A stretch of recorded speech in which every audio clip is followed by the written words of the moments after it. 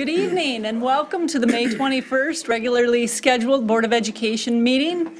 At this time, as a point of order, if you would check your cell phones and turn them completely off, not just silent. Many times the R- our RF feed um, gets interference from cell phones, so if you could do that for us, that'd be wonderful. And also, if you would stand and join me in the Pledge of Allegiance. All right. I pledge allegiance to the flag of the United States of America and to the republic for which it stands, one nation, under God, indivisible, with liberty and justice for all. Thank you. First, Secretary McFarland, could you please take attendance? Yes, uh, that was great to hear everybody say the pledge, especially our young kids with us tonight. That was uh, really a nice, nice thing. Okay, President Singer, Here. Vice President Branstad. Here. Treasurer Frazee. Member Baker. Here. Member Blazy. Here. Member Friedel. Here. We have a quorum. Very good, thank you.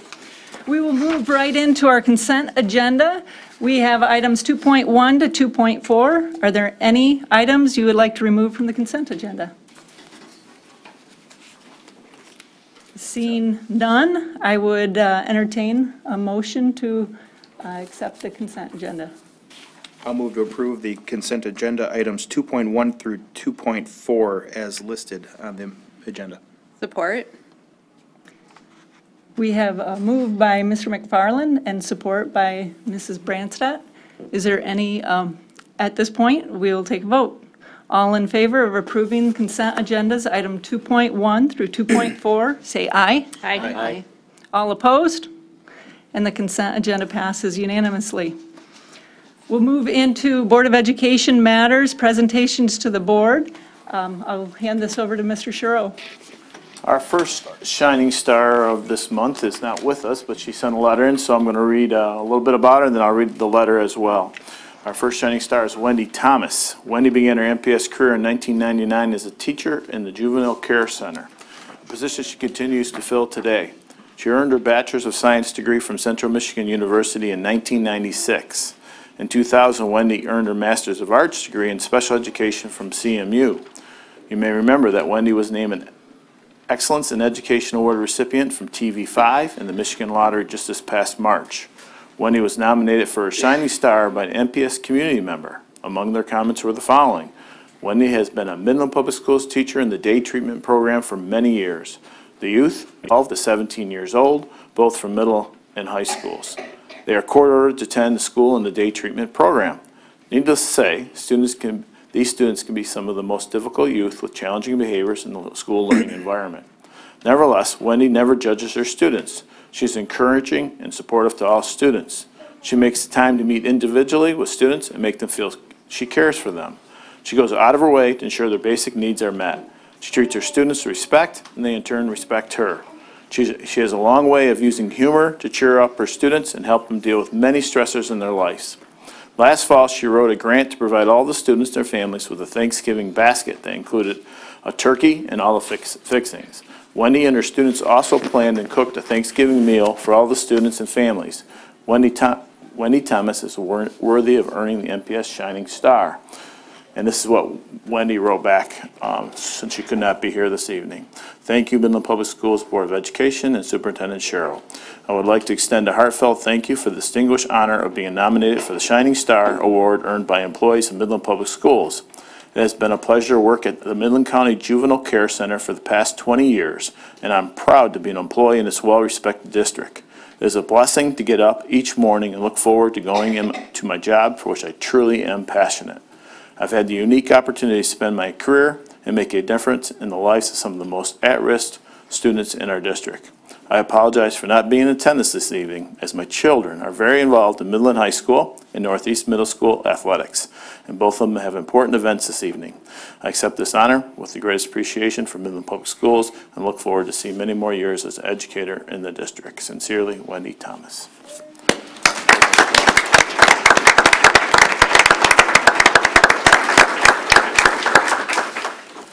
Since that one was a little different without Wendy here, um, this one's going to be a little different because we're going to honor two people as well. Um, And if they would join me up here, Ron Potter and Eric Smith, come on up. And as Ron and Eric come up, I'm going to read a little bit about why they were nominated and um, and about the two gentlemen. Ron joined the MPS Technology Team in 2012 and Eric in 2008. They are workstation technicians in the MPS Technology Help Desk. Ron and Eric do a great job of answering student, staff, parent questions and diagnosing, troubleshooting, and resolving staff and student computer issues for us. Ron and Eric were nominated for the Shining Star by two MPS staff members. Among their comments were the following. Eric and Ron both work at the help desk. They are very friendly and exhibit excellent customer service. For, for the two of them, it is not just about getting the issue fixed, but do it in a manner that is respectful, responsive, and competent. I recently had some computer problems which I was not able to fix on my own. Eric and Ron both responded and solved the problem. They explained their solution in terms that, that were customer friendly, and I was on my way to work on a device that worked faster and more efficient, efficiently. In addition, in the last two years, I've had many comments from teachers across the district about the friendliness and responsiveness of this outstanding team. The service provided by the help desk has been exceptional. Ron and Eric dig in and get it done to find out who can do so. The turnaround time and level of accuracy have been amazing. Both gentlemen deserve to be recognized for their incredible efforts towards customer service. Congratulations, Ron and Eric. And they have these now, so I'll just give you one, you guys throw them out.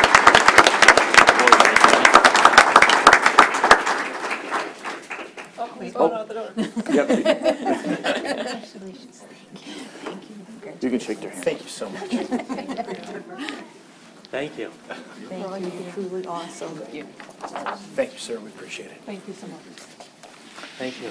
Thank you so much. Going to move right into uh, the presentations to the board. Yeah, they were wondering if they had all their students, but they do have them here, so we're going to let uh, Central Park come up and present, and I think Jen Service is leading the group, or Bridget is? Just for a minute. Okay, you got it. Good evening. Thank you. It's our pleasure to be here tonight to share with you a few points of pride from Central Park Elementary. Tonight, you will hear firsthand accounts from staff and students how PYP and STEM connect. I'd like to introduce to you Jen Service, our PYP coordinator.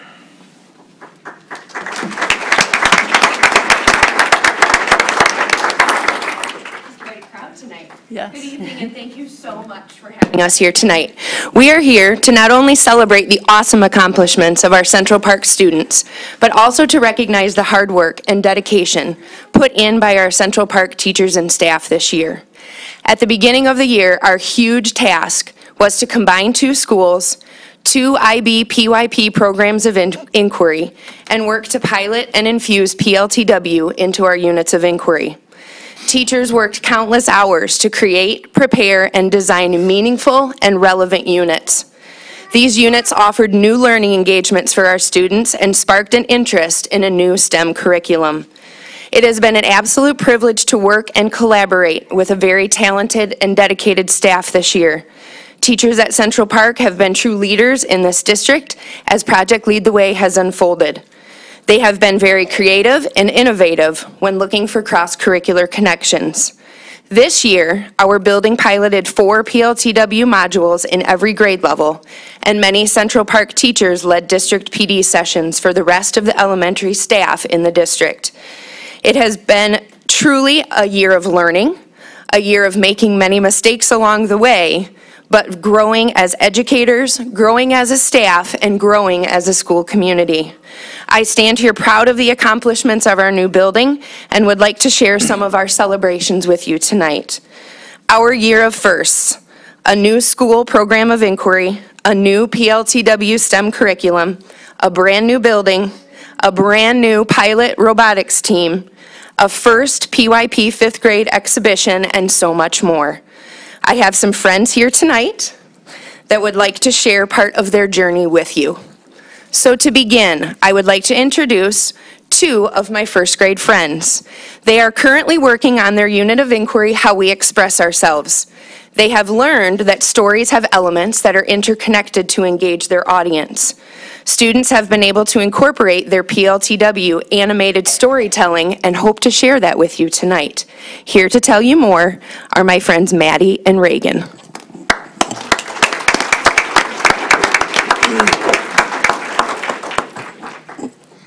Hi, my name is Maddie Wolf. I'm a student from Miss Cooper's first grade class. Our first grade class wrote fairy tales. My fairy tale was The Three Little Unicorns and the Big Bad Wizard. Then we coded our fairy tale using Scratch Junior. I had to create a wizard and three unicorns. I'm going to be showing you the scene.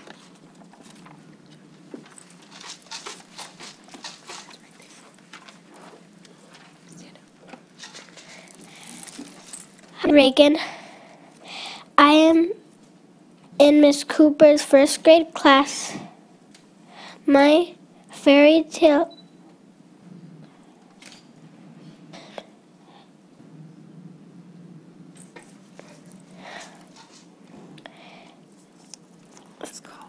was called Reagan and the Big Bad Book. First, I typed the story and then I started to code. At first, coding can be hard and frustrating, but when you get used to it, it's not that bad. I'll show you my story. It might help you get some better ideas of it.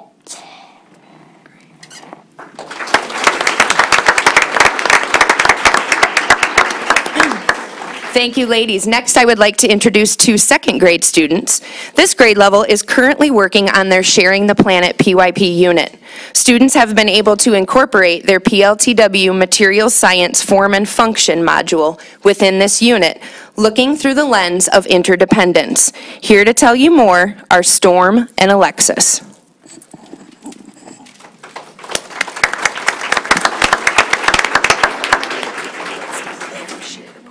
There you go, stand up too. Okay. You're first, Storm.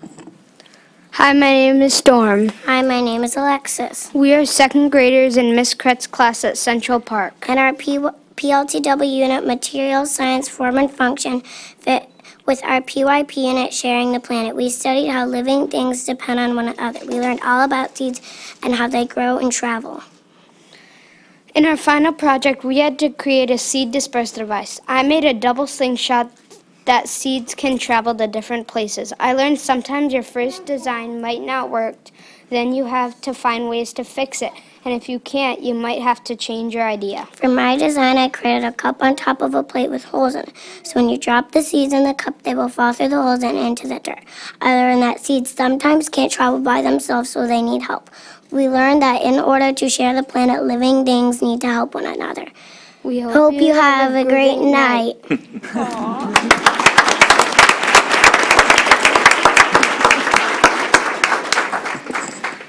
Our next team is from third grade. This grade level is working on their How the World Works unit.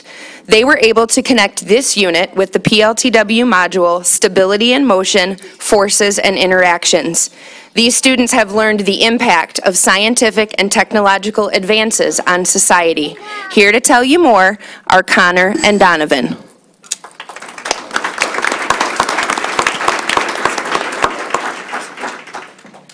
Hi, my name is Connor. Hi, my name. Hi, my name is Donovan. Is it?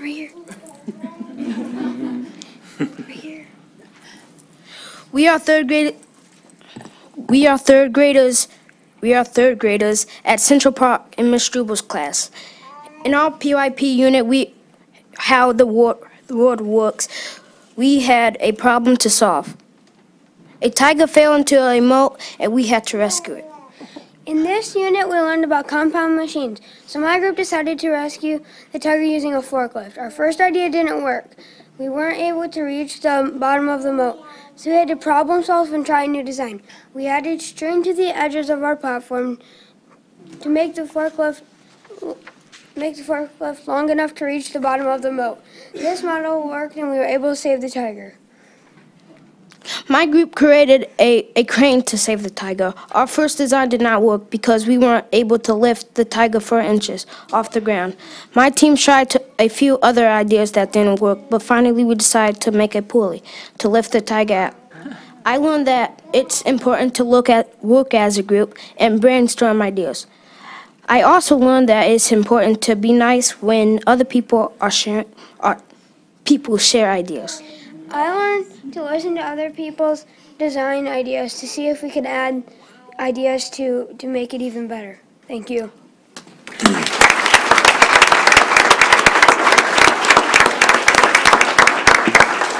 And next, we have members of our first FLL Junior Robotics team at Central Park. Please welcome Spencer and Selena to tell you about their aqua adventure.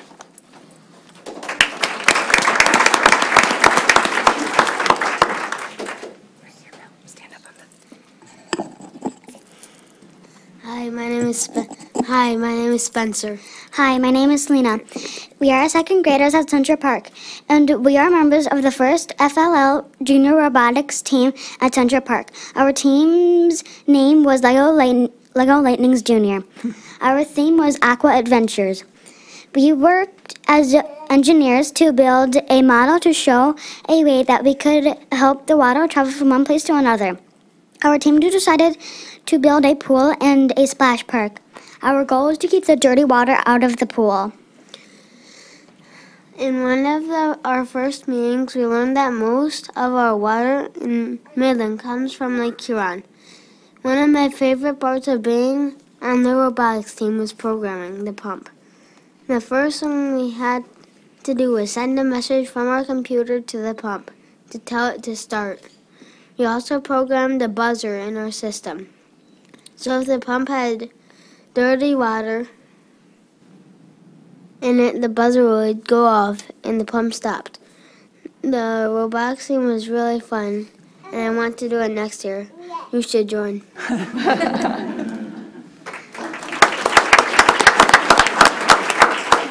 I thought it was really cool to be in the first Lego Robotics Club at Central Park. I liked being able to work with a team, and the, at the competition, our team won the Inquiring Minds Award. I want to be in robotics I'm in fifth grade. I learned that robotics can be for boys and girls. Thank you.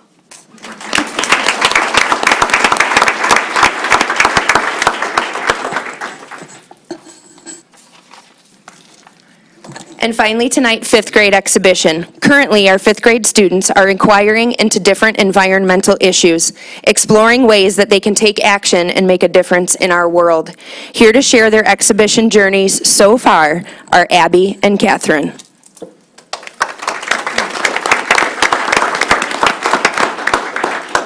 And they just came from a fifth grade music uh, orchestra choir band concert, but they're here. Hi, my name is Abby. I'm a fifth grader at Central Park in Ms. Ahern's class. Uh, We are in the process of our first exhibition at Central Park. We are working under the PYP theme, How We Express Ourselves. Our central idea is through small actions, everyone can make an impact. My group is studying animal testing. So far, I have learned that there are many makeup brands that are cruelty free, but they test overseas in China. We have drafted an email to makeup brands NARS and Kat Von D to inquire about testing on animals. At exhibition, we are going to put different makeup samples in similar containers and ask people to take swatches of each to see if they can tell a difference between products tested on animals and not tested on animals. If they cannot tell the difference, we are going to encourage them to switch to cruelty free makeup. I love being able to work with a group and a mentor that helps us along the way. Through my exhibition and project, I hope to encourage people to use cruelty free makeup.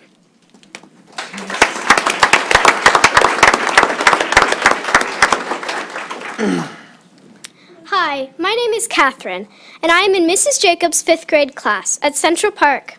My group is studying food and agriculture with an emphasis on agriculture. We are working to encourage people to grow their own food at home. We are interested in this because all the food recalls lately. In our research, we found that there were over 130 recalls in 2017 alone. The latest recall on romaine lettuce helped us decide on an action to take. At exhibition, we are going to give everyone lettuce plants to grow at home. To help us with our research, we invited Mrs. Rathbun to speak to our group. She works for the Department of Agriculture. My team is also going to help take care of the Memorial Presbyterian Garden. I really like that in with exhibition, our teachers are giving us time every day to make a difference in the world. In my group, I have learned a lot about my classmates, and we are working together well. Throughout exhibition, I have learned that it doesn't have to be a big action to make a difference in the world. Thank you.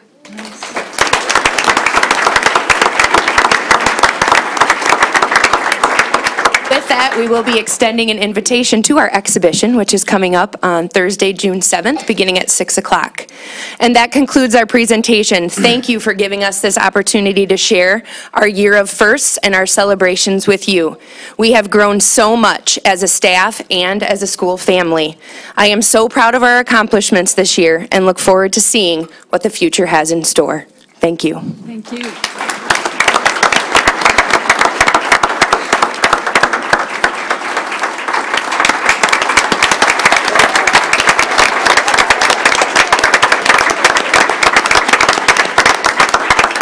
have our coding group that would like to share really quickly. Could they bring their Chromebooks around to just show you their That would be basic great. coding? Yes. Or we would be happy to answer any questions. Very good. Let's start with the questions, too. Do you? Not really a question, but just a compliment on, on all of you students and the, and the projects you talked about, and you're, and you're so poised and, and just relaxed, and did such a nice job telling us what you did. And um, I think you're starting on a big journey for education. I think some of you might be famous someday, so thank you for sharing. And I need somebody to teach me how to program. I know nothing about it. Excellent, there you have. I, I was impressed by all the uh, collaboration that everyone talked about, and also how they um, had to, you know, try again on different things, that things didn't work the first time, which is so important to learn that skill and not get frustrated by it, and just look for a different way all the time. And I was impressed that a couple of you talked about that. Great job. At work, we talk about big projects and how to get things done in the, in our community and in other- other communities. And um, what you were talking about tonight was uh, the same process that we use. We use plan, do, study, act. And you hit on every one of those in, in your PYP, IB, Project Lead the Way program. And um, it's, it's real-life experience. It's it's exciting to see, and it's exciting to hear straight from the kids, um, their impact and, and the questions they come up with, and knowing they don't have to be- have the right answer right away, but that it's a journey, it's a process, and that's what learning's all about. So thank you for your dedication in all of this. That's called the Big Bad Book. That's a bit big. I wanted to say thank you too for um, your strong uh, pledge of allegiance today. That was uh, very nice. And I know when I volunteer at school, I hear the, the pledge every day, and I know those kids are just speaking out. That's, that's really proud, proud moment. I will zap you up and eat. I will zap you up and eat you. Is it coming over the mics? That was good. Zap you up and eat you. That's pretty neat. I'm not afraid of you. I'm looking forward to the um, fifth grade exhibition too. That will be really extraordinary. Looking forward to that. You know, Pam, I would just add, um, Jen, just- to slow it down, Jen spoke so quick, but what accomplishment. Open a new school in a brand-new theme and brand-new learning environment, different than anything we've had. They've been doing IB for about three years, and now they've integrated Project Lead the Way. And you saw the power of that with exhibition, PYP, and what the themes they were talking about, Project Lead the Way, and what kind of learners are these going to be when they hit middle school and high school and eventually out. This is, this is what we dreamed of, guys, and it's a great start. Thank you, guys. Very good. Thank you Thank so you. much. Great job. Oh, and I'll be back. Good tag ending, great job. Great job. It says aqua, I think on it, so that must be the. Give them a minute to. They go back this one. Oh, yeah, it wasn't giving me. Oh, They had to yeah. get it. That was the Tigers coming up. Right. Great ideas. Funny the way you said they, they had to add water and Bring the Tiger up. Yeah, yeah, that's thinking outside the Oh, box. Outside the box.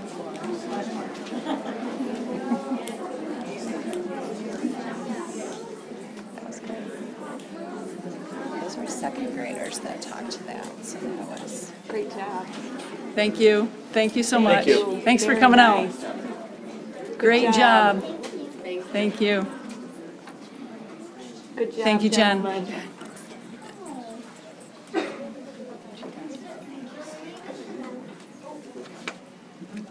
Hey, nice job.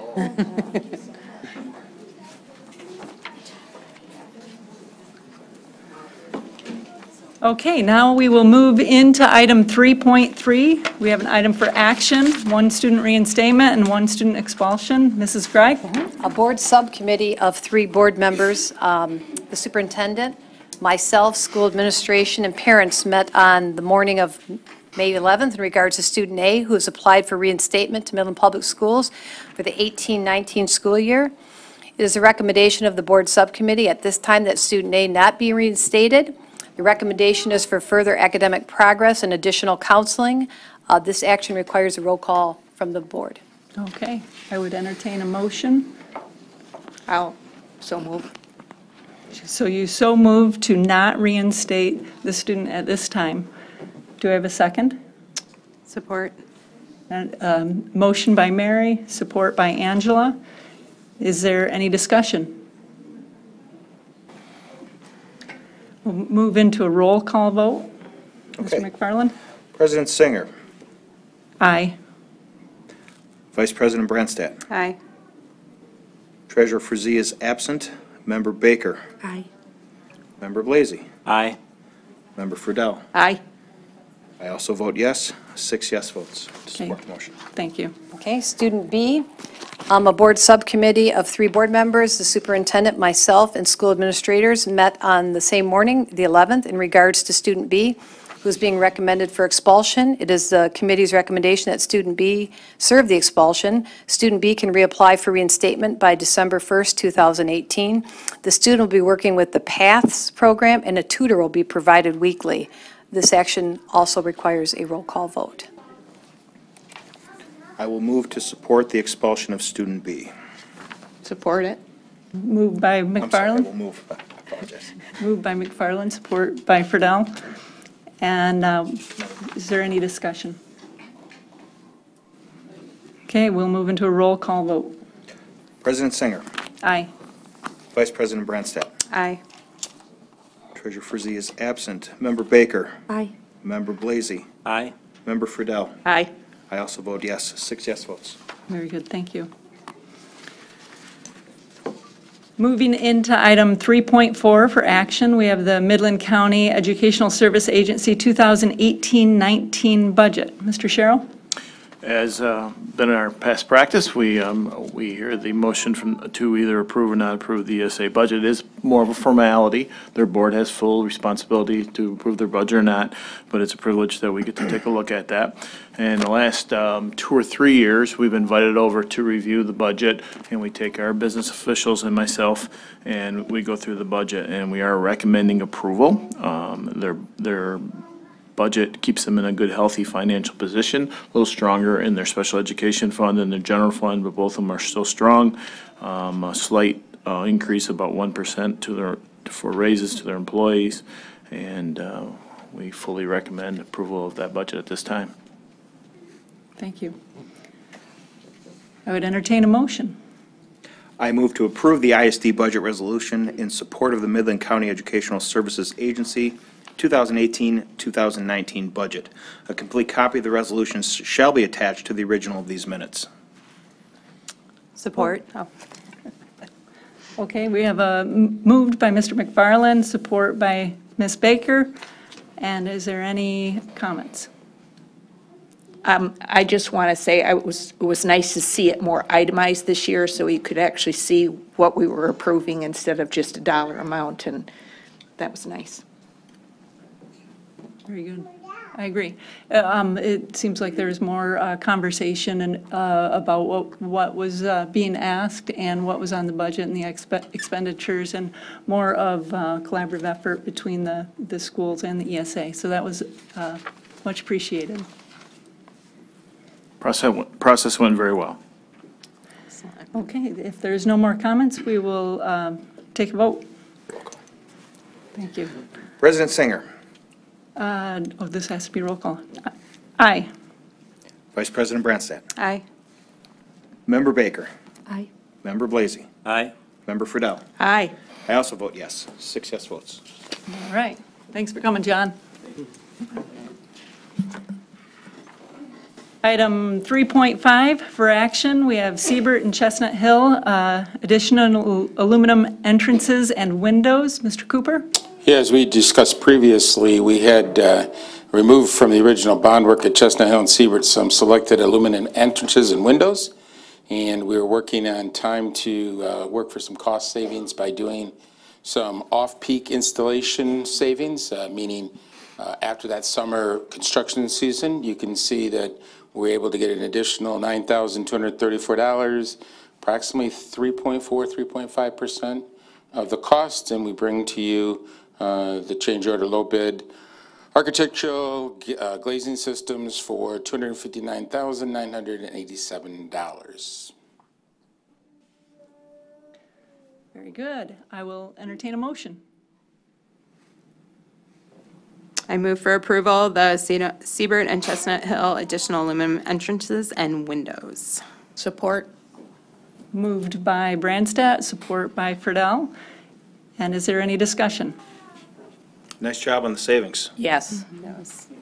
I know aluminum prices are going up, so it's great that we were able to uh, work this out and take advantage of downtime and uh, get them in the building. So thank you for the, the thinking out of the box and uh, saving us some money.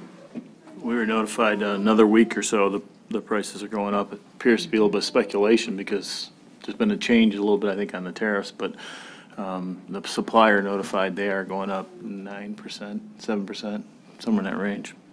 And that will definitely have an impact on us moving forward. Yeah, So- maybe they'll go back down, I don't know, who knows? Right. I have a couple comments. Um, um, Just as a little bit of history to this, back in November, the original bid came in over budget, we, and we did uh, issue an addendum number six to value engineer items as well as removing some items from the projects. Um, The project still came in a little bit over budget, but it was approved and we moved forward with it. Um, As has been reported, we have uh, considerable bond savings at the moment, and that was explained uh, by Daryl and has also been followed up uh, by Mr. Sharrow. Um, But the construction savings, that portion has been spent, but we have savings from technology and from our owner fund as well. So we still have the savings there, but not really on the, constr- we still have considerable savings. But also, um, the budget transfer number five, that was also for the STEM elementary school.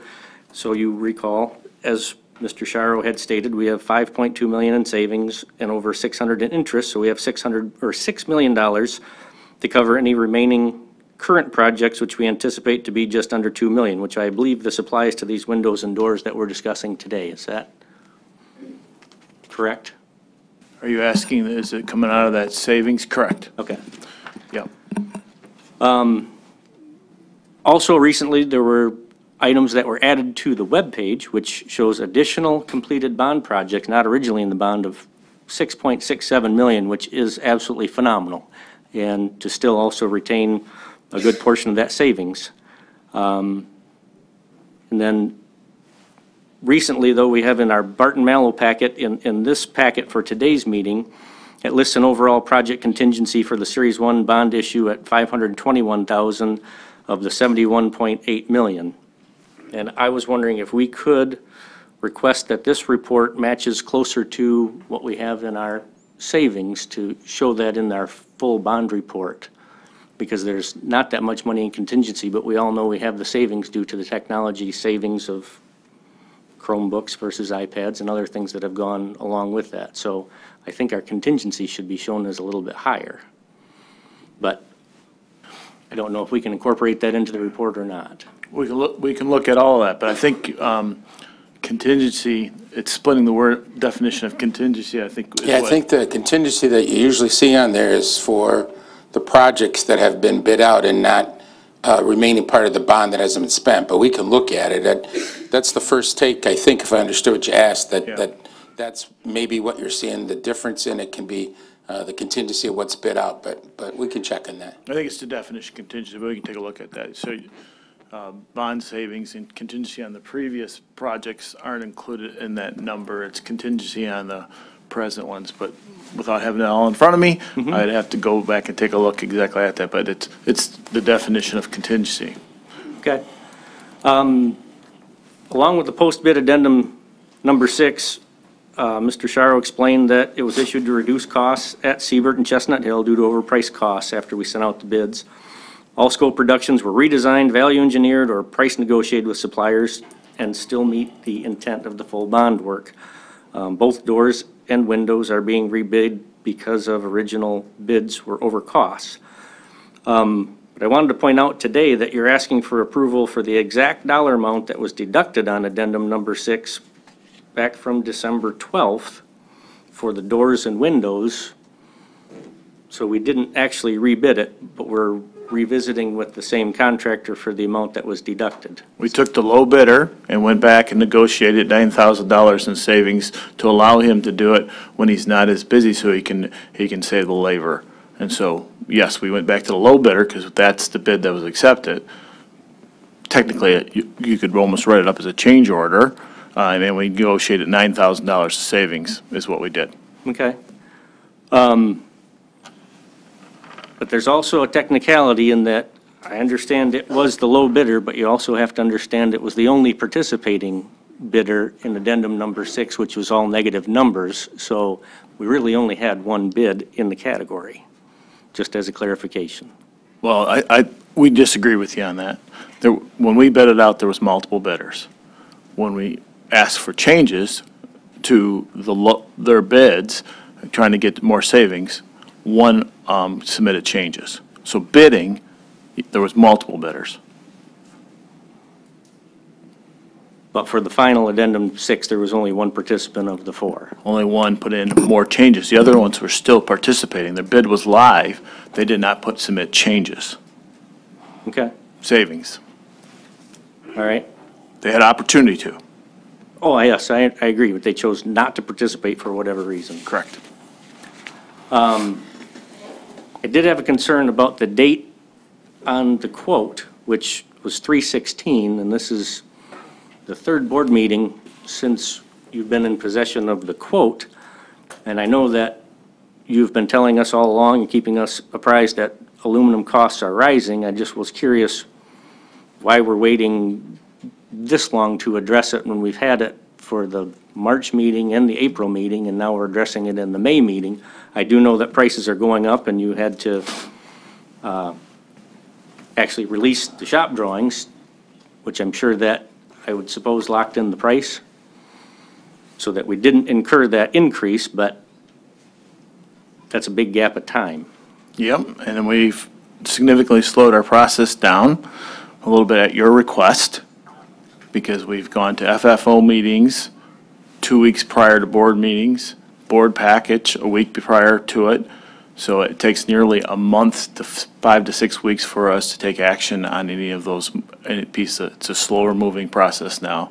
And that, that's the time strain we had into it. Could have probably done it in a week or two, but this board meeting is scheduled in May, didn't hold a special board meeting, and we still make the time for the, uh, beating the deadline of the increase from the supplier. Okay. Um, I also had one concern of, of the, in our board summary, our, our packet, our executive summary from Barton Malow, the contingency for Chestnut Hill is only hundred and sixty-one thousand. And if this request for funds, I know, is split between the two schools, so if you take the two sixty and divide it in half, or there might be a little bit more on Siebert because of a couple more windows. That's gonna reduce their contingency down to thirty thousand dollars, and the project is just beginning, so I didn't know if that was an element of concern If I for could, that. Mike? Yeah, uh, go ahead, I think we- you- We're there's going something to wrong take it there. out of the bond savings and not the contingency, so that's not, Okay, com- Yeah. the contingency remains. so the contingency will Right, stay. Yeah, because I think you asked earlier, we took, we're taking this out of the bond savings outside of, I guess that's the best way I want to describe it, um, what's been set aside for Chestnut Hill and, and Siebert. So it won't affect the, uh, uh, the contingency. Okay. So I guess the, the question that I've always asked and always will continue to ask is, is this purchase of additional windows and doors within our budget? Yeah, Okay, absolutely. all right, We- We definitely think it's good use of savings. Um, We want to protect that savings, knowing that co- since 2013, when this bond was drawn up, costs have increased and will probably continue to increase. So we want to be very slow using that present savings that we have, because most likely with costs increasing, we're not going to see a whole lot of savings on future projects. So yes, this is going to be quite uh, finagling going forward to stay under budget, accomplish the work we want with cost increases. And hence, that's why you've seen us be pretty creative in using capital improvement funds, our guys at time doing some of the smaller projects, those pieces going forward. But yeah, it's plenty within the budget right now. Um, And it was our intent to always, to- we we prioritized the doors and the windows all along. That was a priority that we lost in in addendum six that we wanted to do. So this is, you're seeing the first of it as we come.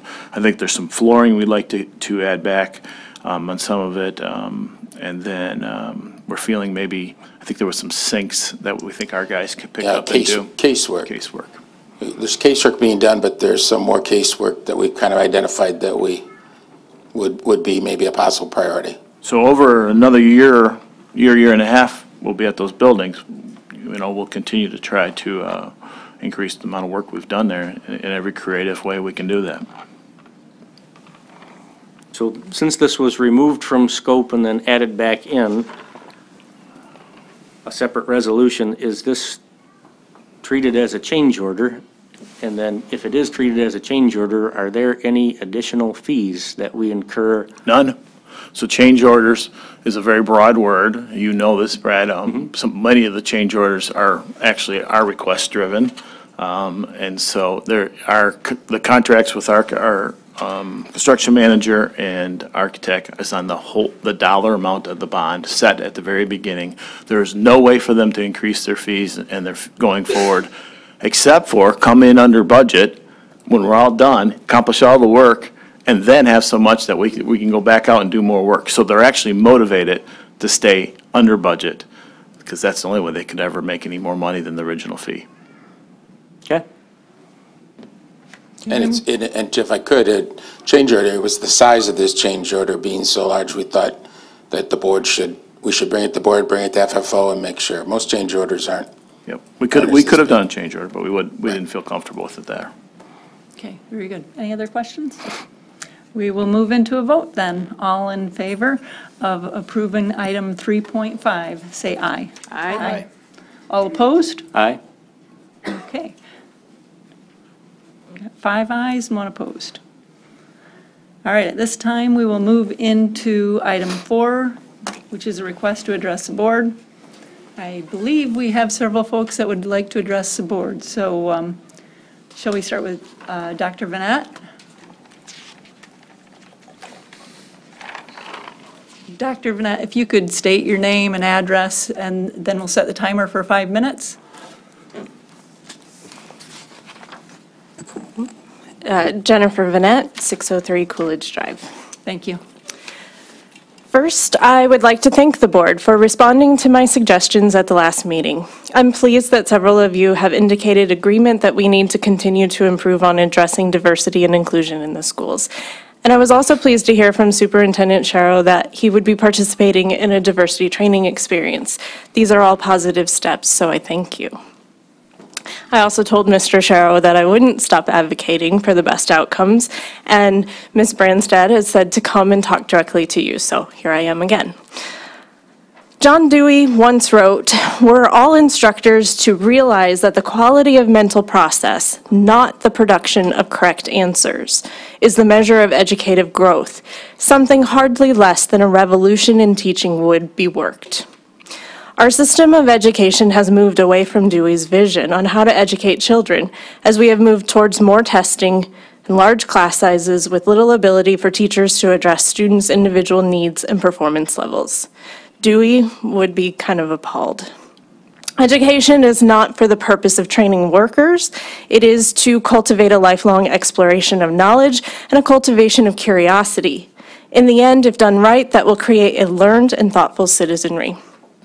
I shouldn't have to be here to tell you that tonight, but you're about to approve spending of over 20,000 on third and fourth grade social studies in order to flip what's taught in each grade, mostly for the purpose of some questions on the English language arts portion of the M-STEP. Not the social studies M-STEP, the ELA portion.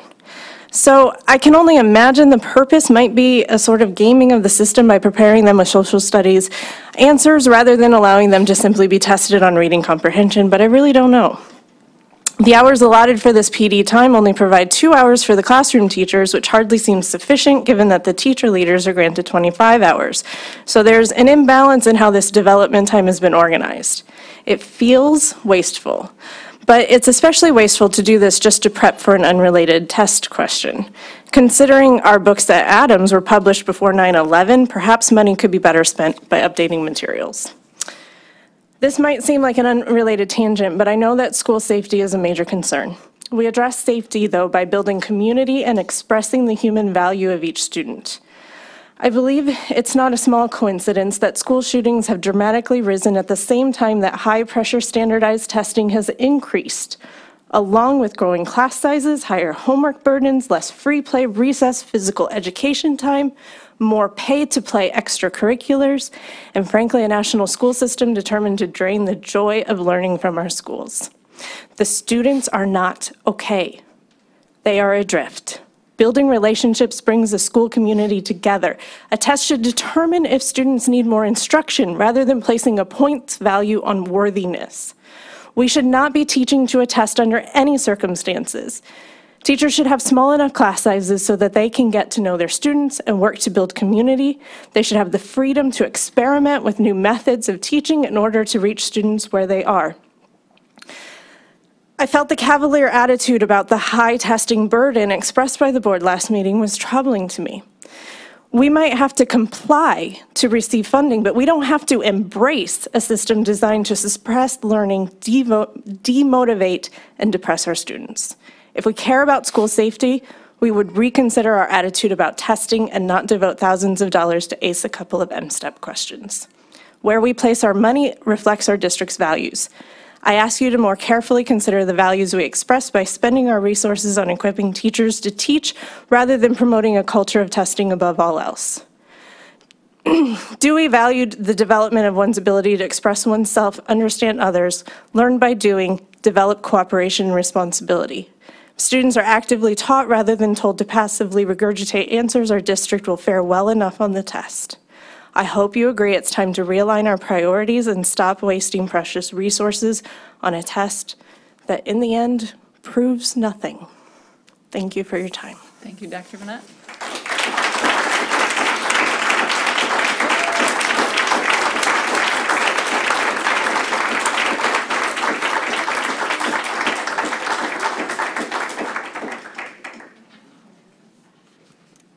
I didn't know Brian wanted to, to weigh in at this time, or we should wait at the end. Um, We have three or four different folks that are going to come uh, talk to us tonight, so I thought the board could uh, make comments at the end. Keep your notes and make comments at the end, but I didn't know uh, if you wanted to weigh in now or at the end. Uh, Probably during the staff development proposal time, um, right when we get there, when I do the introduction, that would probably be the best. All right, perfect. All right, thank you. All right, I, I believe uh, Sarah Hecklick. Again, if you'd state your name and address. Yep. Uh, Sarah Hecklick, uh, Auburn, Michigan, 1256. Um, Good evening. My name is Sarah Hecklick, and I've been with the Midland Public Schools for 15 years. I'm speaking on behalf of the English departments at both Dow and Midland High. Our purpose is to go on public record with our collective displeasure at the administration's handling of the controversy surrounding the book The Absolutely True Diary of a Part-Time Indian by Sherman Alexie. First, we would like to thank the community members who have supported our work and have made public expressions of that support in the newspaper, at this board meeting, during parent-teacher conferences, and on social media. We feel fortunate to serve as instructors in this involved and supportive community. First, we, um, second, as trained professionals, we are no strangers to the book controversies. We teach the English language arts, and as an arts instructor, we have long weathered issues with our texts. The Adventures of Huckleberry Finn, The House of the Spirits, To Kill a Mockingbird, and many other texts have sometimes pushed our students into unfamiliar realms. None of our books have been immune from parental concern. For years, we have followed an established procedure for approaching these pieces, and our students and classrooms have benefited. We have the respect, dignity, and grace to handle sensitive to- topics in the classroom. Yet, the procedure that was forced upon us concerning the use of Alexie's text essentially means that none of us will teach this book. We are being required to designate the book as particularly sensitive when we feel that all of our texts are sensitive. We are not comfortable labeling the content in this book as worse than the racism and innuendo in other texts. Our main goal in appearing here tonight is to express our concern for the precedent that this decision sets for the use of all of our books and movies. Take Romeo and Juliet, for example. Should a parent object to that text, might we be required to teach this text under similar constraints? Will all texts now have to be taught as book clubs when teacher guidance is needed? In short, our opt-out independent study alternative was the accepted practice in the past and has served us well. As English language arts professionals, we feel deeply disheartened by the lack of respect for our experience and our training, and the district's handling of this current book controversy. We emphatically deny any MPS communication that implies our agreement with this new approach. Thank you.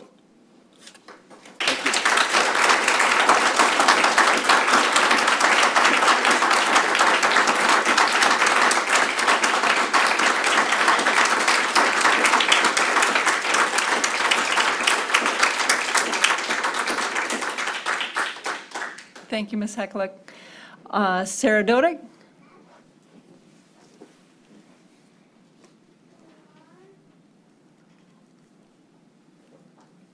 Hello. Thank you very much for having me here today.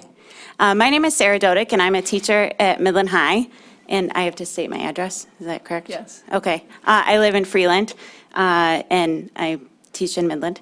And um, I am here, well, oh, address, 10147 Willows Bend Court. It's a really long one. Um, I am here today to ask you to revisit the new policy on our teaching of the absolute true diary of a part-time Indian.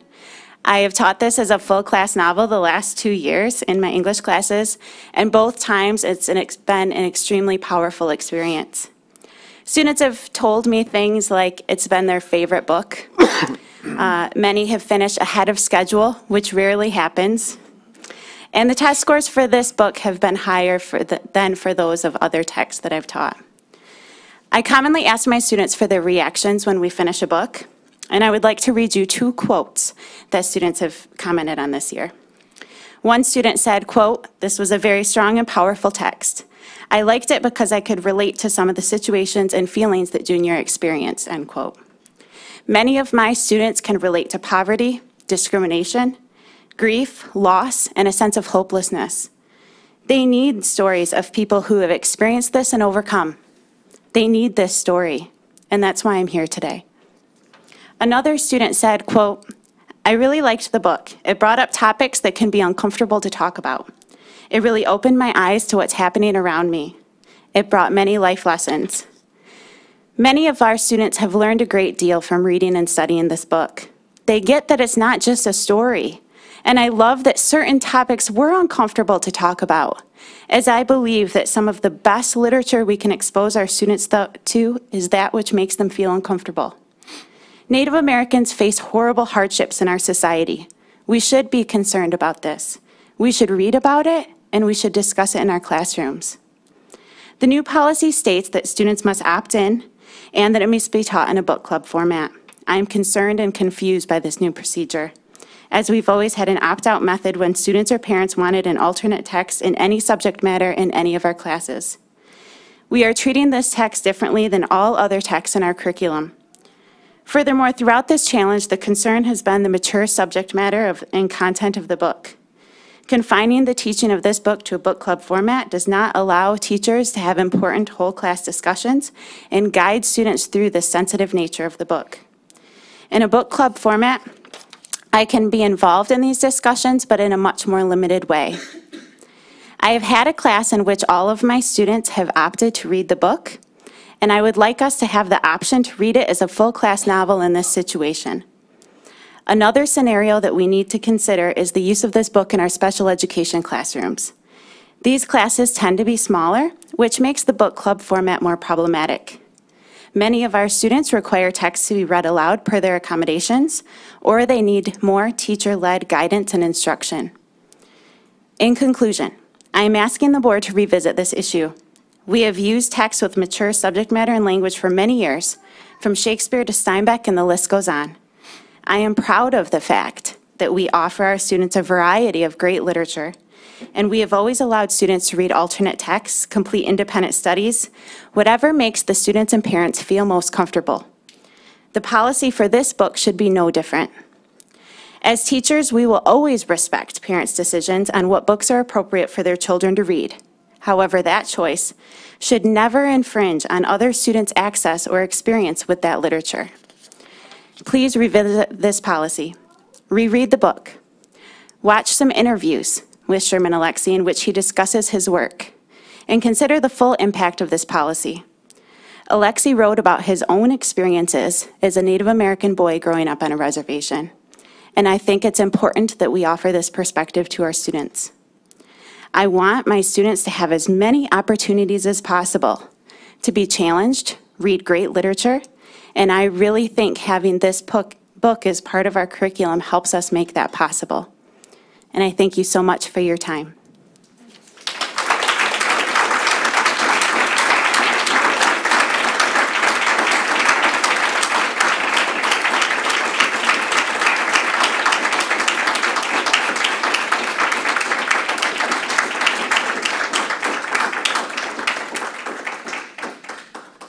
Thank you, Ms. Dodick.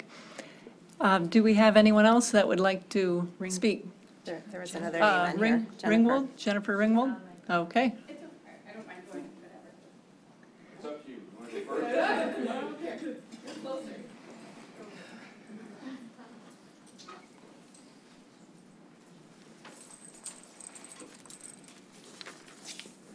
I'm Jennifer Ringgold, 2801 Highbrook Drive. I'm here again to speak with you regarding preschool through Midland Public Schools. I am still extremely concerned about the district's commitment to running two completely separate preschool programs.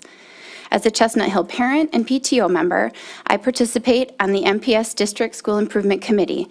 It was at the initial DSIC meeting this year where I learned of the MPS Early Childhood Services expansion, including our two four-year-old preschool programs, Great Start Readiness and tuition-based IBPYP, that will run separately, yet side by side, in the newly remodeled Carpenter Street building in 2018-19.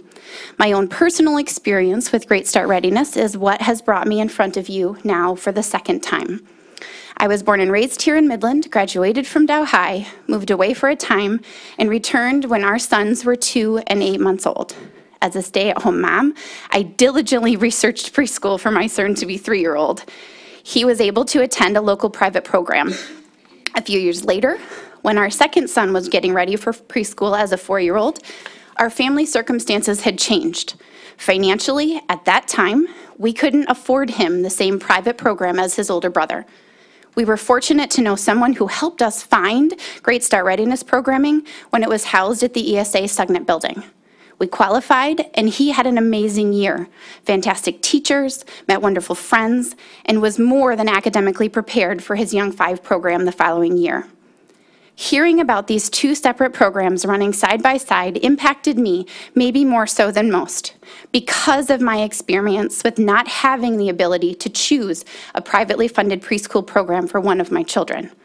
To have walked into our preschool building each day knowing a privately funded preschool class was running there simultaneously that wasn't available to our child because we couldn't afford it would have been very upsetting. I would have noticed then and I won't stay silent now. The two separate socioeconomically segregated classes that this administration plans to run next year at Carpenter Street School puts Midland Public Schools families in a situation that says they're not equal. The emotional response that I just described for you is only reinforced by the different curriculum and program requirements for the separate GSRP and IBPYP classes. In our K-12 schools, When a student qualifies for a free and reduced lunch, we do everything in our power to make sure that little to no opportunity is available to differentiate students based on the cost of their lunch. At the end of each meal, free or not, the meal is supposed to be the same. In this current preschool programming, Midland Public Schools is actively differentiating students by the cost of preschool, separating them from each other, and not providing the same curriculum. All four-year-old students in Midland Public Schools do not end up each day, each week, or at the end of an academic year with the same opportunities. How is this possible that this board and this administration has allowed for Midland Public School preschool to develop to this point? Outcomes of these decisions, both direct and unintended, must be addressed. Addressed, sorry. My ask is still the same as one month ago, that you as a board commit time, energy, resources, and do everything in your power to eliminate this promotion of socioeconomic segregation and feelings of division and superiority among our youngest students and their families. It's time for problem solving and to try a new um, design for a program in which all four-year-old students taught by this district receive the same education together. Please show the community that this board supports public preschool because each child matters. Thank you for your time.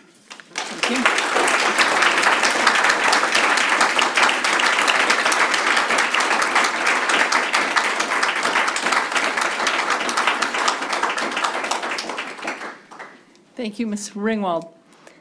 Do we have anyone else who would like to speak to the board tonight? I'm Leanna. All right. If you'd state your name and address, and we'll set the timer for five minutes. Kurt Yaki, 3600 Valley Drive. Um, I- I'd like to start by apo- uh, um, applauding each one of the folks that have spoken tonight that have challenged the governance of the school district, because, uh, and it seems to me that how can these things be the least bit controversial? And what I'm about to talk about is the same thing. Let, let me start with a brief history. Um, the public was addressed in 60 meetings and then a 45-minute, I think, video about the upgrades that were going to be uh, provided as a result of the tax increase that was voted in in 2015. Within months of that, uh, preparations were made to replace items that had been promised and uh, for these neighborhood schools. Before the cuts to those uh, promised items were acted upon by the board, the administration provided no notice to the public that they, for what they had voted, uh, may not be provided. I was mistaken when I came here last time, and I said I thought there were 60 uh, items deleted, and I've been corrected. There were 105. Uh, The cuts that were made, I would say secretly, and without any notice to the public, or any notice to the news media, or even through the communiques that Mr. Sharrow writes, what, every week. S- Since the public didn't hear about any of those, it, it, there was a website that was uh, constructed, and uh, the question was, why was money being harvested from the neighborhood schools, and where was it going? The name of the website was brokenpromises-midlandschools.com. Since the website was published, there have been over 6,000 visits to the website, so it seems to me that there may be some interest in the topics raised therein. Multiple correspondence has been sent uh, to Mr. Sharrow's office asking questions about how public money appears to have been redirected from where it was promised, and there have been no responses provided. So the questions that are unanswered by the board and the administration are perhaps easily answered, perhaps not, we don't know. Why was anything cut if there are excess funds? Why is the general fund being used? Why is it being weakened when there should be plenty of money from the bond savings that we were told exist in the amount of $5 million or something like that. And why are we using sinking fund funds if a surplus exists? So, and to me, a very important issue is why didn't the administration tell the public in 2015 that their vote for the tax increase would only be a vote for a wish list, as was described by our superintendent at the last board meeting? So, which is true? Was money harvested from the neighborhood schools? Has it already been spent? Is there really a reservoir of, I don't know how much money, because it keeps changing, I think. Um, So I have this suggestion. If it really isn't controversial for the public to ask questions about where did the money go? And why were things like deletions part of uh, what has gone on? And since there were, I may have the number wrong, but there were 60 meetings that, that went on in the community to try to um, suggest to the population that they should vote for this uh, tax increase. Why not have an informational meeting now where the public can ask all their questions, how the public money has been spent. And I would suggest that we do this soon, because if this is all a great big misunderstanding, it's time to know it now. So my suggestion is, within the next week or two, that we either find out there's something to be discussed or there isn't. And if, I'd be happy to help set that up if there's any need to help set up the date and time for such a public meeting about public money. Thank you, Mr. Yaki. Thank you.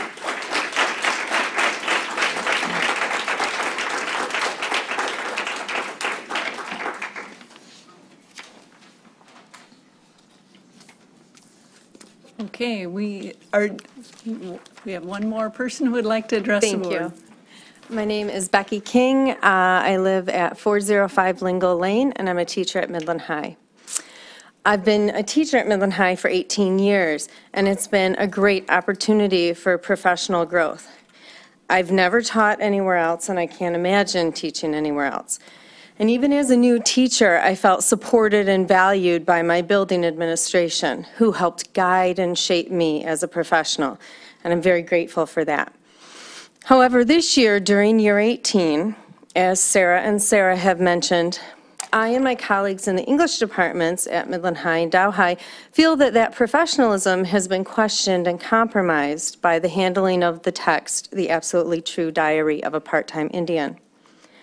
For 17 years, I have handled parental concerns about our literature selections on a case-by-case basis with respect for family belief systems and individual students.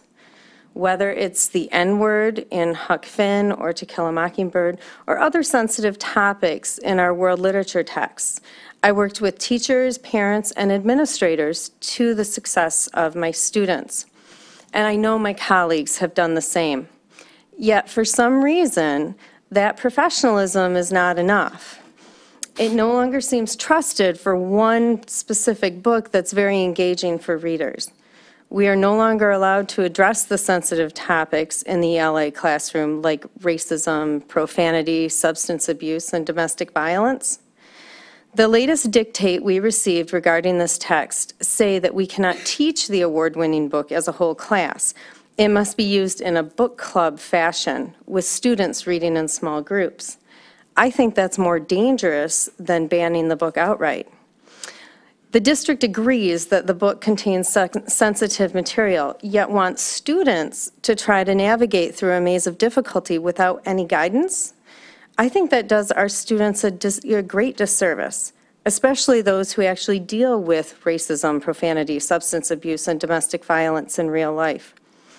It also undermines the professionalism of our teachers.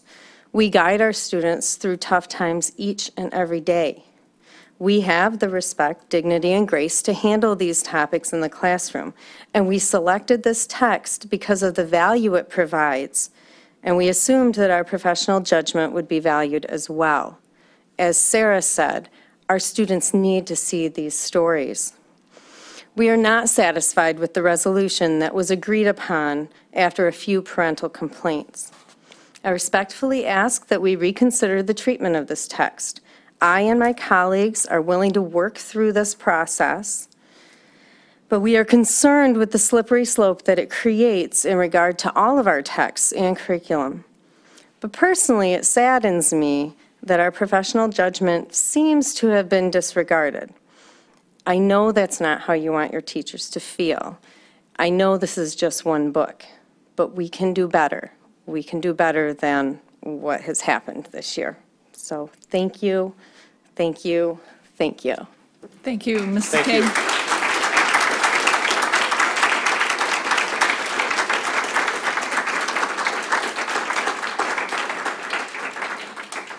Would anyone else like to uh, address the board tonight? Okay, seeing none, we will move into item five, which is curriculum, instruction, and assessment. I believe we have uh, committee minutes. Uh, Ms. Friedel? Um, This, uh, these meeting minutes are from Monday, April 16th. Um, Curriculum Office Administrator shared information with the committee on the staff, development process and staff devel- development proposals that were submitted for consideration. The 19 proposals submitted addressed a diverse array of content areas. Several proposals focused on innovative programs and initiatives targeted at closing the achievement gap. The concerted effort was made within the proposals to shift work out of the school day and into the summer or after-school hours. These proposals are uh, introduced in the April board meeting for public examination and to the May Board of Education meeting for action. Implementation will be based on available funds for the 2018-19 budget. Uh, We met again today uh, and went to the um, uh, Career Tech buildings uh, that, that's currently being built a home. Um, Was a wonderful opportunity to see our Career Tech um, building students um, and the wonderful work they're doing. So that's what I have. Our next meeting uh, is next uh, September. Very good. Thank you, Mary. I believe we're going into item 5.2, which is staff development proposals for action. Um, Would you like to have a little background on that? Yeah, sure. Uh, Without trying to be redundant in what Mary said, and reading everything that was on the minutes from the last meeting, um, I want to talk a little bit about the third, and- excuse me. Thank you. Uh, Much better. Talk a little bit about the staff development proposal for the third and fourth grade social studies. Um, For some brief clarification on that, what we are attempting to do with that is to bring to the forefront updated materials uh, that do align with the state standards. So the state standards, really for us here in MPS, we've had reversed in third and fourth grade what we've been doing for a while. We do acknowledge that our materials do need an update, and our updates are intended to venture us into the world of what we call OERs, or online educational resources. Those are very new to many of our staff members, and so the money that we're trying to devote is to bring that resource to our staff and to allow them to have time to truly vet and be trained on how to use an online educational resource that would align to us becoming um, back into compliance with where the state standards are. And we really want to avoid overwhelming our staff members with so many changes all at one time. Next year, we know at the elementary level that we have Project Lead the Way coming to the rest of our five elementary schools. Uh, We're also piloting over at Central Park uh, additional science kits through Cereal City, and we are very careful not to try and do too many initiatives at one time. So when we were considering making this move, we actually surveyed our elementary staff to see what their favorability was to this. Uh, 83% of the staff surveyed were in favor of making the change now. We believe that's because they are rewriting their units to align with Project Lead the Way, and so they wanted to do this at one time rather than having rewrites happen to have on multiple occasions.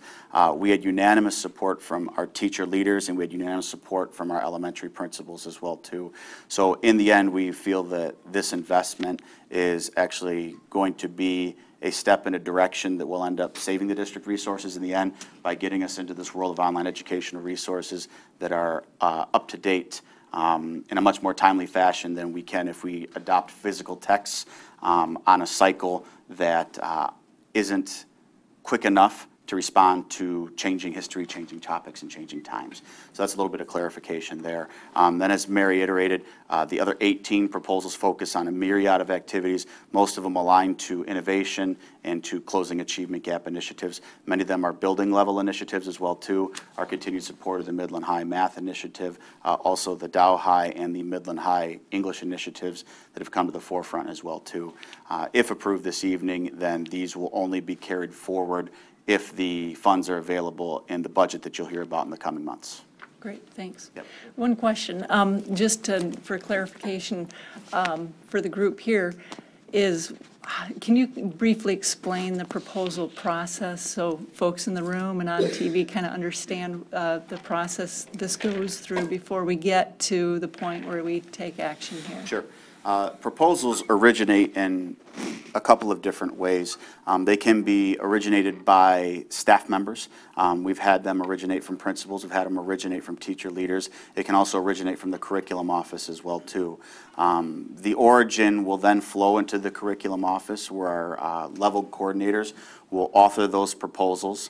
From that uh, point, they then get shared out and people can provide feedback on those.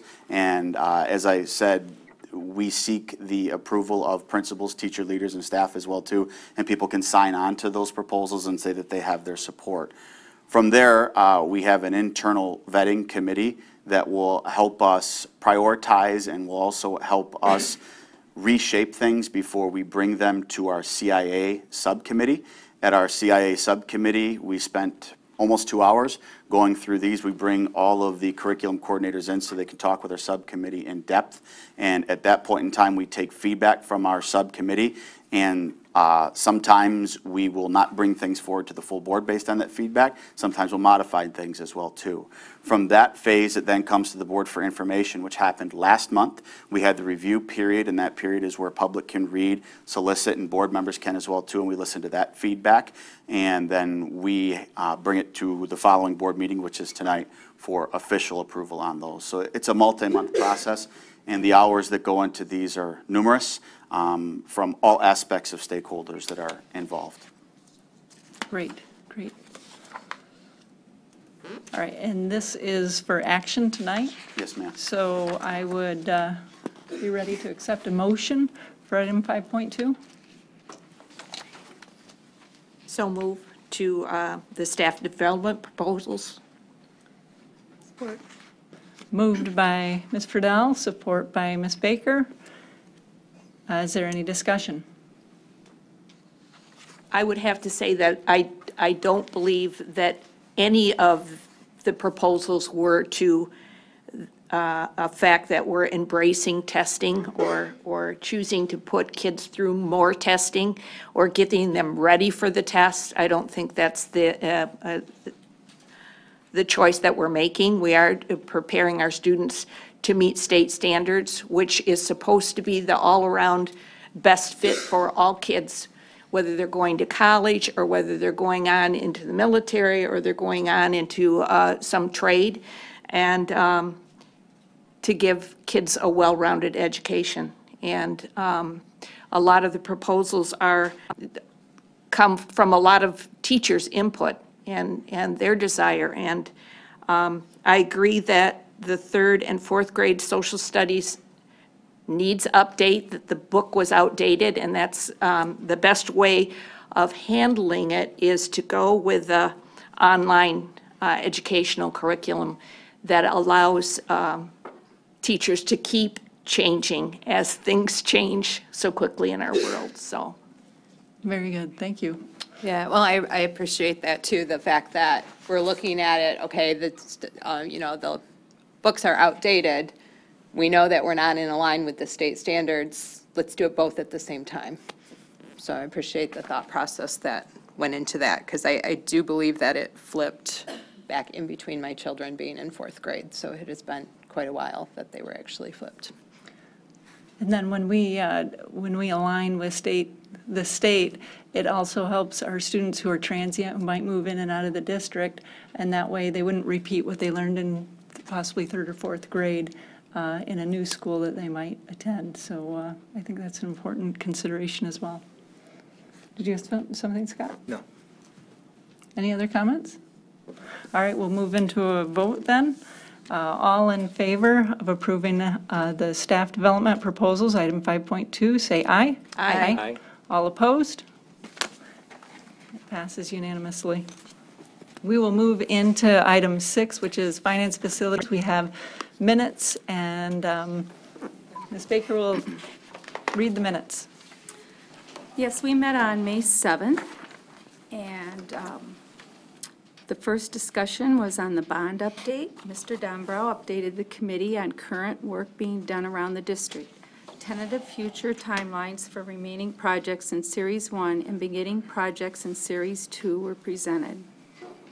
And then at Finance, Facilities, and Operations, Mr. Cooper, Ms. Holderby, and Mr. Sharrow reviewed and discussed the following items with the committee.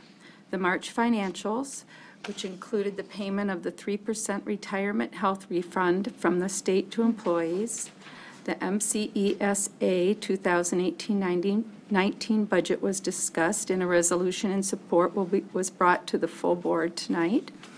Siebert and Chestnut Hill additional aluminum entrances and windows. Savings of off-peak installation and upcoming aluminum price increases were discussed. A change order for the 2,000 $259,987 to the low bidder architectural glazing systems will be acted on tonight at the board meeting. This value represents the low bid value of $269,000 and $269,221 minus $9,234 for off-peak installation savings. And the next meeting will be Monday, June 4th. Thank you, Lynn. Um, When we were in that meeting, I thought the educators would be pretty excited about that 3% back. I bet uh, that brought some smiles. Uh, And that came from our state. And um, I was real pleased tonight, too, to, uh, to pass, or to, to give our approval of the ESA budget that, um, that both groups worked, worked hard at. Uh, As far as the Siebert and Chestnut Hill, I'm thinking about the end of the school year, and I, I believe we're going to give the teachers an extra day to um, move their items out of the classroom. And we talked about that at, at that meeting as well.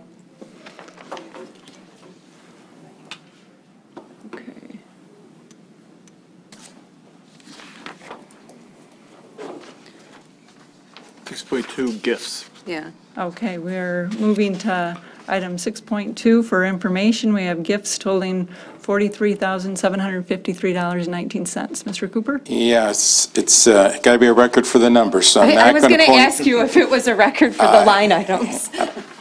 Singer, you already gave us the total there. There, are- for information, there's 6.2, there are 44 gifts. I think there's 50 on the list today.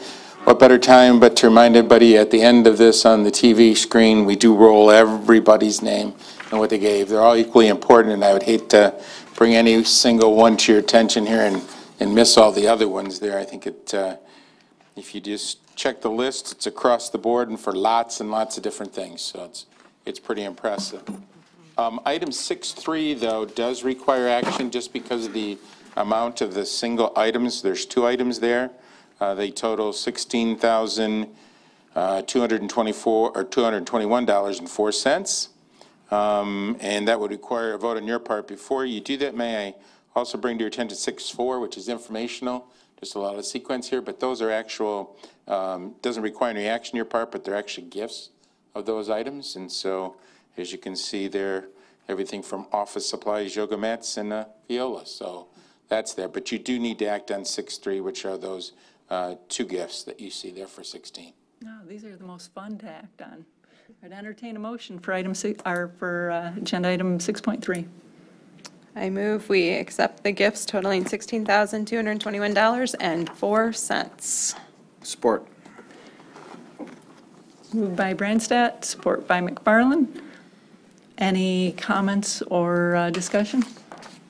Really appreciate all the people that have contributed. The one for the um, BPA at Midland High, I know my daughter, her two best friends actually were on that trip, and wonderful, wonderful educational experience for them. Absolutely. Uh, The generosity is overwhelming and appreciated, absolutely. So we'll move into a vote. All in favor of accepting the gifts for item 6.3, say aye. Aye. Aye. All opposed? It's unanimous. And then we'll move into Human Ri- Resources, item 7.1. We have committee minute, meeting minutes from Mr. McFarland. Yes, we met on Friday, May 11th at 10:30 in the morning. Uh, We discussed a number of things. One was a substitute teacher request. We had a PESG substitute teacher request a meeting with the board of the Education Subcommittee. We discussed a legal update uh, where we were informed that a legal suit against the district had been dismissed. Um, As far as negotiations go, we began negotiations with the Midland Federation of Paraprofessionals. The district and the MFP will meet again on February 7th, 2018. Um, We also approved a medical leave of absence in accordance with the MCEA Master Agreement. Uh, A little more negotiations. Ms. Marchese updated the committee on a tentative agreement reached with the Midland Federation of Paraprofessionals. Our next meeting date uh, is to be determined. That's all I have. Great. Okay, next. Um, The board and staff extend their deepest sympathies to the families of Mr. Gerald Hath, who passed away April 10th, 2018. Mr. Hath taught 7th and 8th grade science at Northeast for 31 years, retiring in 1981. In addition, he was the head tennis coach and the audiovisual coordinator for the building.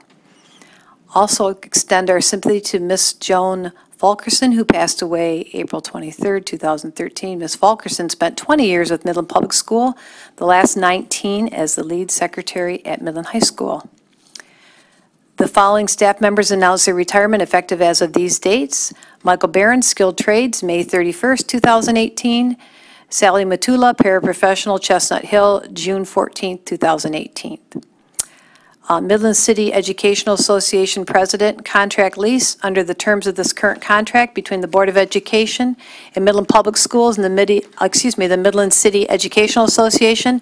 A .6 contract lease has been granted to Mr. Mark Hackbarth, who is actually the president of the MCEA for the 2018-19 school year. Very good, thank you.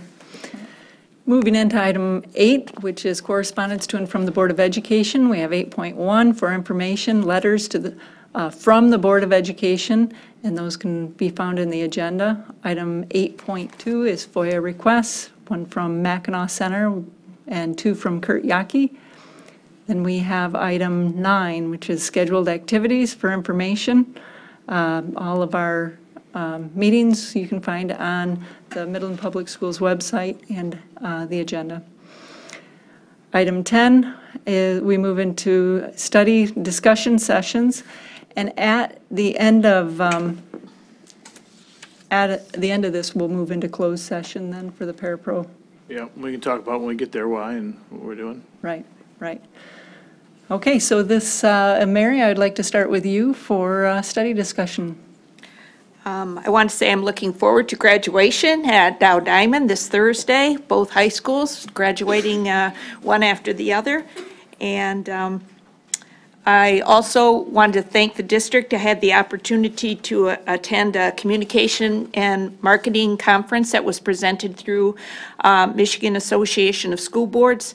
I attended the session on school safety, crisis communication, combating fake news, and understanding communications.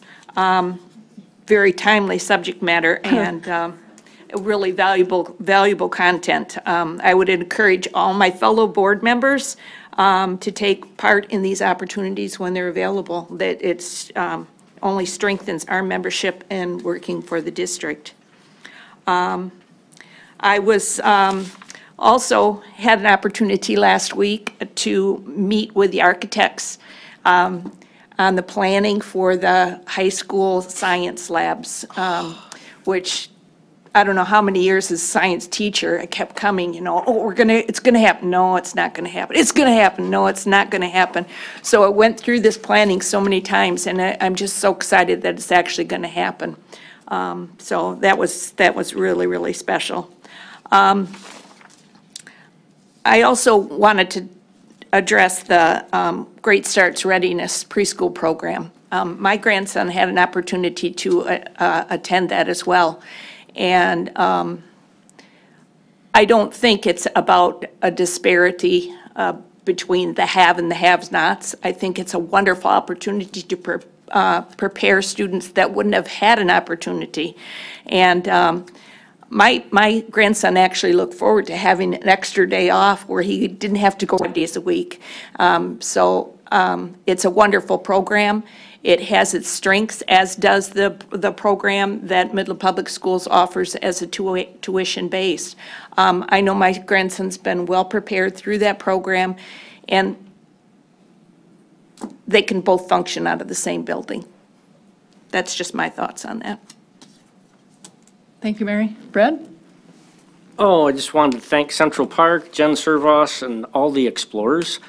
Um, Dr. Vonette, Sarah Hetchlick, Sarah Dodick, Jennifer Ringgold, Kurt Yaki, and Becky King for coming up and, and uh, giving your opinions and thoughts. Uh, It's it's always uh, good to hear from the public. Um, Last week, we touched on a topic that uh, we've talked about a couple different times, that since the beginning of my term, uh, I've been concerned that we're reaching out further and further to get contractors to participate on our work. And started out as Tri-City, Tri-County, Great Lakes Bay Region, Central Michigan. Then we have this bigger radius that's on a map that south of Flint, north of West Branch. It's a big number, it's a big area, and it's big miles, but that's not the point.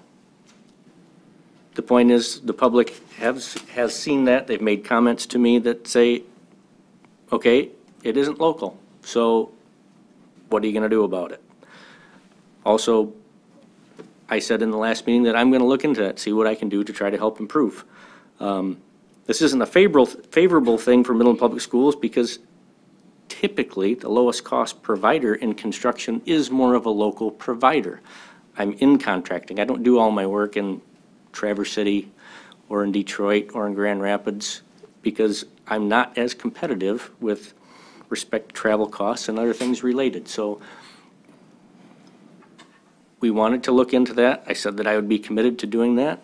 And I've met with some contractors, and also um, Scott uh, was very concerned about that as well. He came up to me after the meeting, said, I want to be part of those meetings, so Scott went with me. Um, We only had a chance to touch a couple. Um, Then it was um, good meetings with them. Um, We came away with a couple items that I think that we can work on, and I think some of them are pretty simple. Um, There was a lack of confidence on, on how some of the bids were awarded because of whether it was based on the base bid, the cumulate, cumulative low, the single low, whether the addendums were a part of, they were a part of the package, but whether they were excluded as included with the base bid and/or with some of the voluntary alternates that might have been accepted that could have changed the specifications to make it a little bit more, maybe not so quite apples to apples based on the spec. But there were dollar values to uh, back those things up. Um, One thing that came of concern, and actually, it was a brief mention in our meeting, but I also have, as a contractor, I'm in the same room with a lot of these guys on a regular basis of other contractors in the area, and there was some concern about us not paying on time. So um, I know we're sign- having, it's a Midland Public School contract, they're signing a 45 to 60-day contract, and there was some uh, hurt feelings out there that it's not, the payment isn't coming until 90 days. So. It's, it's not, a con. we don't contract, so with a general contractor, it's a Barton Malow contract. We Okay. pay Barton, our contract is with Barton Malow. Okay. So I would like to reach out to Daryl and his team to see if there's something that we can do because they feel um, a little bit hurt in that, that they're, they're, they're bearing the burden of the finance. And I told them I'd be happy to look into that. Um, And that's about the extent of it. I told them I'd be happy to look into it, that they feel that it's taken a little bit too long. So we'd be happy to look into that. I'm sure Daryl can talk to Mike and we can see if there's any type of issue or anything that we can do to speed it up. Thank you, Brad. Um, The only other item that I had was, um, I had concern about um, one of the categories last month, and and Scott, to give him credit, he's, he put me on the spot, said, okay, what category, Brad, do you have an issue with about, you know, low bidding? And I said a roofing example. And Daryl replied back to us a couple of days later, including everybody on the board, to say that, no, we've, we've always taken the low bidder for roofing. And the reason I mentioned that, is, I didn't get into exacts because it was in the past. And moving forward, we're working very hard to do that, but, and sometimes it is my opinion that we haven't done that. That goes back to early 2017, where we bid out uh, a whole bid package, and there were probably 10 categories, and one category we decided to split. But the other categories, we chose not to, to do them as cumulative. So as part of one of those that we chose to do cumulative, we could have saved some money if we would have split that category. So that was my clarification for that. So saying that we always award to the lowest contractor is a little bit of semantics in that if you put them cumulatively together, that could be lower than the other, the other guy with his cumulative prices. But if you split one, you're exposing yourself to something where we should split them all. So I was not incorrect by saying that. I appreciate Daryl doing the follow-up. But I wanted to be heard by the board that there is a specific example, and it was real. And I think that we have improved moving forward, whether we're splitting or cumulative or value engineering or addendums. I think we have improved on that, and I appreciate that. Okay. Do you have anything else? No, ma'am. All right. Scott? Um, Thank you to all of our guests tonight um, who came out and spent their time and, and gave us their opinions and really honestly gave us a lot to think about uh, moving forward on how we analyze topics and how we, I guess as a board, um, discuss and, and vote and, and move for what we believe is best for the students because that's, at the end of our day, the only thing we're here for. That's right. Um, So, so that i- is really nice to get feedback, and, and and I see some of you are still here, so I appreciate you guys being here, and even sticking around to the end. I mean, you could have said your piece and left, so that's awesome. Um, So thank you for that. Uh, We, we do appreciate it, and me personally, I can't speak for everybody else, but it is something I will continue to think about, and uh, as things progress, we, you know, we'll take it step by step. Um, Hopefully, we come to a solution where everybody's happy. Um, As far as the contracting, the, the payment, I didn't get the impression they were overly concerned with being paid late. They kind of attributed that to shuffling paperwork and, and whatever between secretaries. Um, y- You know, I kind of thought that was overemphasized. A- And then the other contractor we met with didn't have any issues at all, other than uh, there were some issues with the, was it the NLRB or something with? It was uh, concern about a classification that w- wouldn't be Yeah, really. so- acceptable, but that was a very, So what I took from that is, is them not being able to bid was just, they just, they couldn't compete with the um, pay rates that would have had to been uh, done through the bond work. yep, exactly. And, and we're finding that with, with a lot of small um, contractors, they just, and that's nothing that we can control, unfortunately. We're, we're trying, we're, we're trying to get rid of, of that, but um, at this point, we're, we're stuck with it. So, uh, you know, it's kind of maybe an unnecessary stigma on us that we're driving away local contractors when really we're not. They just can't adjust their payroll to, to go with the, with the bond work. Um, So that's, you know, something for, for the public to consider. And Mike, you can certainly elaborate on that. Yep. Um, But beyond that, looking real forward to graduation. especially at Dow Diamond. That's going to be fantastic. It's the first time ever. Um, Cross our fingers for the weather to hold out. Bring sunshine. Yeah, and with that, uh, Angela? that's All I right, thanks. So, yeah, I won't speak much about all the bond stuff because we have all said a lot, but I do want to say, I, I hate the semantics of what's local and what's not local. I mean, we all know I, I work in Saginaw. I work with people. If you were to draw a radius, huge, you know, and we're all local. So, you know, we go south of Flint, we go almost to Lansing, we go out in the Thumb, we go up north, you know, that to me is local. So, you know, but maybe it's because I work for a global company and I spend a lot of my nights um, on the phone with people in China and a lot of my mornings on the phone with people in Poland and Morocco and Brazil. So to me, local is um, the semantics of if it's the city of Midland or if it's 40 miles, you know, radius around here, or even 50 miles, that to me is nothing. So, anyway, all right, on to the book. Just my only comment about that is that, um, just to remind people, we did all have the opportunity to read that. So when you speak to that, we have, we have read the book too. So know that we do, when you're talking about it, we have that um, perspective of having read the book also.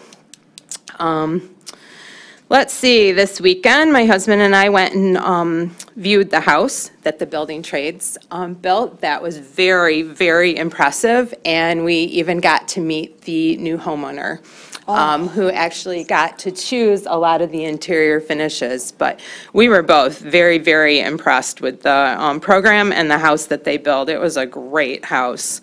Um, Let's see, um, everything else is near and dear to me, um, in the next week because I have a graduate.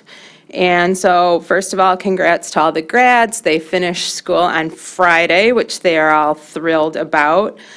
Um, really looking forward to graduation at Dow Diamond. Had a couple conversations over the weekend about it. One was a, um, we'll call him a new parent, someone who hasn't been through graduation in um, the gym yet. They had some concern about Dow Diamond. By the time I finished explaining to them the gym graduation, they are praying there is no rain Thursday. Um, Another person I talked to is so thrilled because the gym experience um, was going to um, foreclude the grandparents from coming because of the seating, and now the grandparents can attend, and that just um, really makes me thankful that we can provide that. Um, I know that, you know, there could be some glitches on Thursday because it's the first time, but um, it's still the right direction that we're moving. Um, I had the opportunity today to go back to Adams Elementary School with all the uh, graduating seniors who went to Adams there. And a wonderful experience. They let them uh, walk the halls in their caps and gowns. They all wear name tags in case the teachers didn't recognize them now that they're all 17 and 18 years old. And it was interesting that, of course, got posted all over Facebook today. And a um, former Adams parent, a family that has moved out of the area, actually posted on there um, how special it was, and that if you didn't live in Midland, you may not understand how special that was. And that was in reference to the fact that Adams splits between the two um, middle schools and the two high schools. And to see all those kids come back together today and taking pictures together um, was just a wonderful experience. And then the last thing, I want to send out a huge uh, thank you to the counseling staff at Dow High. Um, This whole year, again, they, every single week, send us an email on Fridays to walk all of us senior parents through the entire senior year process. And we really, really appreciate the handholding that we receive every single week. And um, I thank them from the bottom of my heart for the great job that they do. And that's it. Lots of good stuff. Well, I want to start with um, congratulation, congratulating our Gerstacker winners. I was out of town in Colorado with my daughter, and it was the first one I'd missed. And um, so I'd like to, I'd like to congratulate Pam and Sean and Robin and Lori um, for that great recognition. And I know, I, one of my daughters had Robin, so I know her personally, and well, well-deserved. Um, and also the teachers with the years of service, and then the retirees. I know so many of those retirees. In fact, six of them are coming from Chestnut Hill. I said, boy, am I feeling my age, because there's only going to be a couple people left that, that I know anymore. But well-deserved. They've put in many, many years and have touched many, many students and families. Um, And to our shining stars, Wendy, Ron, and Eric, as I always say, they do great, great things behind the scenes that many, many of us don't recognize. Um, Thank you to our speakers tonight. I would like to comment, though, that um, we always appreciate hearing from you and your input, but I'd like you to know, too, that we- don't make any of these decisions lightly. We spend many hours in our, our subcommittees and with recommendations, and there's been research and information given to us by, by staff or by our administrators or a combination of thereof. So um, decisions are never made lightly. There is a lot of background. We don't always, always agree, but please know that um, a lot of discussion and thought goes into it. And, and then on top of that, thank you to Central Park Elementary, your staff and the students. Just every time we have these presentations, I marvel at this generation of students who are so poised and what kind of education they're getting. I had five children graduate from MPS. They had great educations. They're all successful adults, but I have to say, what I see in our schools now at the elementary level um, is just amazing. The thought process and the presentation and what these students are learning. And they're in, thank you to the staff. It is a huge learning curve for all of them. And you just see them, even tonight, the enthusiasm you go into these buildings. They are excited about, about teaching and the hands-on and the robotics and the STEM and, and just the curriculum that we offer to our students. And along that line, building trades, thank you, Kevin, and your students. What a, an incredible home you've built once again this year. Um, We went over on Saturday as well, and um, I just marvel every time. And the owner and his daughter were walking up, and, and I said, um, she said, "This is my new house." And I said, "Did you pick out your bedroom yet?" And she goes, "Oh, yeah." So it's just, it's very heartwarming um, to see, and what a, what a neat, um, what- what's the word I'm trying to think of? Uh, Just working together. We are pr- pr- building a house, helping build a house, but you're really, it reminds me of Habitat for Humanity. We're providing a life for these people, opportunities that they might not have otherwise. So uh, from the bottom of my heart, thank you for that. And um, I read in the paper the other day about the Adams Garden, and I know some of our schools have the different community gardens, but as a gardener myself, I just read through that and appreciate all the opportunities for learning and fun that the students and staff are having. Um, So, you know, our teachers go above and beyond, and our parents and our administrators, everyone, to support these programs. I can't, I can't thank you enough. And lastly, I'm looking forward to graduation. 20 years I've been going to graduations, and I might not be too hot this year, so I'm looking forward to it. 82 degrees the last time. I know. As long as there's a breeze and I'm in the shade, I am good. Can't be hotter than being in the school, So congratulations to all our graduates, whether they're going off to college or into the military, into the workforce. Um, You've worked hard and you deserve it. And so do your parents and everybody that helped you along the way. Thank you, Lynn.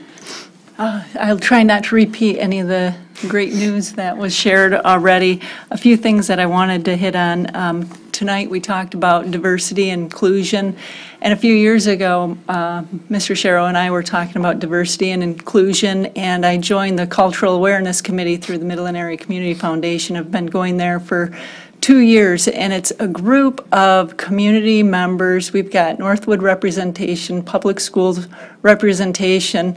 Uh, The mayor is in that group, as well as many other community members. And the goal of that is really to understand where our community is with a diversity in our community and how we can help make our community more of a welcoming community. And we've been working hard at that for a couple years, but I'm really proud that we've got Midland Public Schools representation in that group and that we are, are living in a community where there is so much um, pride of place and wanting to improve and, and wanting to be a more welcoming place for all. I want to thank all of our speakers tonight for coming up and sharing and um, inquiring and, and with the, the thought that you put into your inquiry. It is appreciated. And um, I agree with you, Lynn, that, um, and I want to say that again, is, is we take what you say and, and these decisions that we make are not decisions that we just make without thoughtful consideration and looking in depth at detail and, and many decisions are, are tough. I mean, we've got people on both sides of, of the, the, the issue, and, and we have to weigh those things. Uh, When, when we talk about the part-time Indian, um, we, we all read the book, and I think I asked eight, eight friends to read the book too, and we, we reported back. And, and we took the request very seriously. And, and when we have lots of community members coming to us from both sides, we have to pause and we have to look at it again and make sure that we're okay with the process. And one thing that helps is a process, and that's one, that's what I have to give this administration credit for, is really creating a solid process. And um, Mr. Brutyn, and what you've done to lead us in this way. I know uh, you were put in a, in a tough position when you have, have uh, so much, um, so many different um, uh, ideas in a community. And it's, it's really tough to, to have to come up with a solution that's good for all. And good for all doesn't mean everybody's going to agree, but I want to thank you for for leading that effort, and I know it's tough, and I know everyone's not going to agree all the time, but we certainly appreciate uh, your leadership in that area, and, and we'll take thoughtful consideration as we move forward as well. Um, When we talk about the preschool, uh, again, Mike, about four years ago, I think it was, he asked our board to get involved what, in what was called um, Exploring Our Futures, Midland County. And what this was, was envisioning what we could be in 20 years in our county. And part of that was over 100 community members coming together with ideas on what we can do to make our community great again. And, and then we took the top issues, and you know the num, the second top issue was around education, it was around preschool, and it was about getting more kids to preschool. So I've spent the last three years on a committee working on how can we get more kids in our community in a high-quality preschool. And it, it um, I, I would love to be able to offer choice to all. That would be wonderful. And Midland has such a reputation for allowing choice uh, in this community. Um, Sadly, it costs money, and, and to, to get, to garner that kind of um, financial support in order to offer a choice to all um, for preschool is very tough.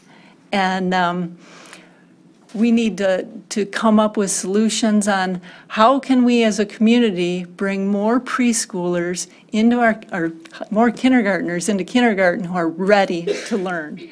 And it's, it's much better, and there's research across the board that says if they have high-quality preschool, then they will be, do better.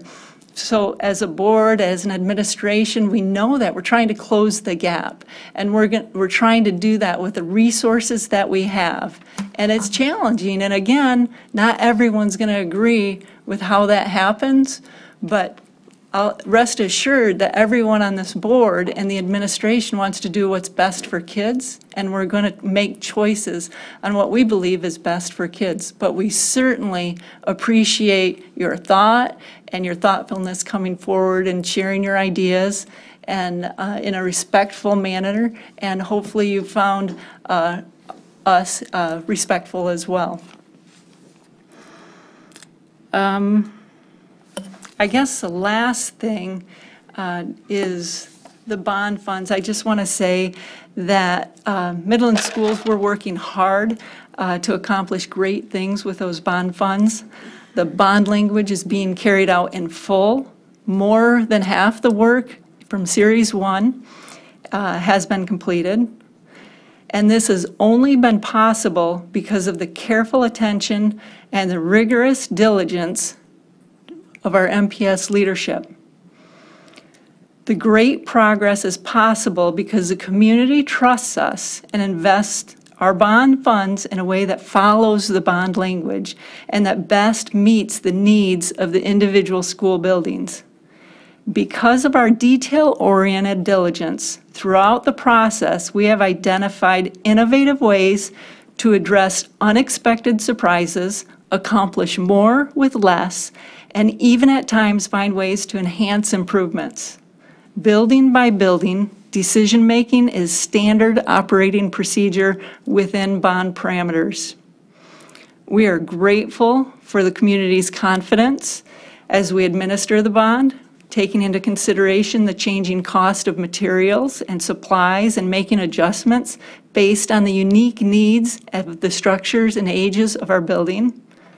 We are committed to transparency regarding the bond, which is why we continue to post on our website information about spending, progress toward goals, and lists of current priorities. And out of all the people I know, if there's one person, if there's anyone out there that is transparent, it's Mr. Sharrow. He's the most transparent, honest person I've ever met. So I have complete and utter confidence in his leadership in this and know that, that we are diligent in, in our work with the bond as well. And thank you for your support in that. Mr. Sharrow? I'm going to be long too. Sorry about this. We're going to, we're going to set some times here, but a few things I do need to say. On the book, one of the things I want teachers to realize is uh, somebody before us set some incredible processes. And if you remember, the book process went all the way through, and this board approved that book. So when you get a little bit angst towards the board, realized that they approved that book after going through all the steps in the process of going there. When we were alerted, kind of late, that there was some um, maybe language that we should be called attention to, I went to the board and had all seven of them read the bo- book. And I have to tell you, my personal opinion was I thought they'd come back and say, hey, maybe we got ourselves where we shouldn't. They, but they stood by you, all seven of them, and said, no, this, the book should go forward. But it was challenged, and I keep hearing by a few, 150. And so I, you know, and I'm sure there's 150 on the other side. Um, and so we found ourselves in a sticky stick situation where, um, be honest, I predicted it to the board that we were going to be in, caught in the middle one day, um, and we were going to have to decide what to do. There's a challenge process in the school district to all curriculum materials. And so your question, could it happen to uh, some other piece of content? It could.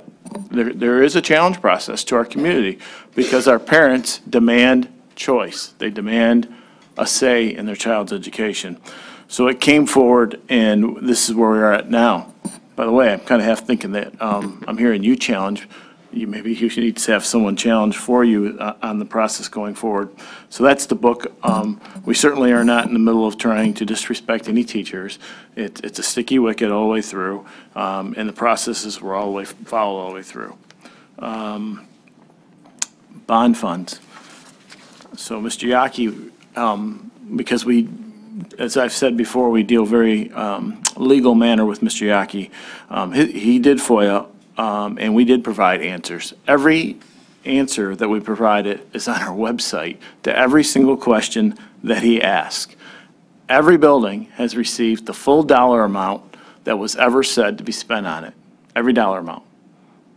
Now, somewhere along the line, we're going to get caught where the dollar amount doesn't cover everything you desire. If you've ever built a home, you borrow 200,000 and you take your wish list and somewhere you come overpriced and you reduce the lighting scope or you do make some choices or you pull some out of your savings to add to the building of that. So we have many tough, tough decisions to make as we go forward. And let me correct Mr. Yaki because he always says, I have things wrong. He has things wrong. It wasn't passed in 15, it was passed in 14. So four years ago, many things have changed. When we finish the work, three or four years from now, over eight years, many prices and pieces will change that. I do ask anyone who has any doubt to go to our website, contact Pam or I. I'm more than glad to answer any question you would have on the bond. Um, But every single dollar in every building has been spent um, of the work that's completed.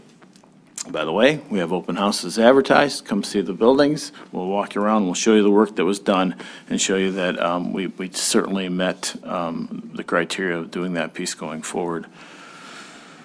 Um, GSRP, so Mrs. Ringwald, I've met with you a couple times, and hopefully you see that we want to accomplish what you want. And um, hopefully you'll see, just as I did on the book, or the material, Mrs. Vanette, I have gone out and done much research already on this. And I have to tell you, I'm not seeing an answer here.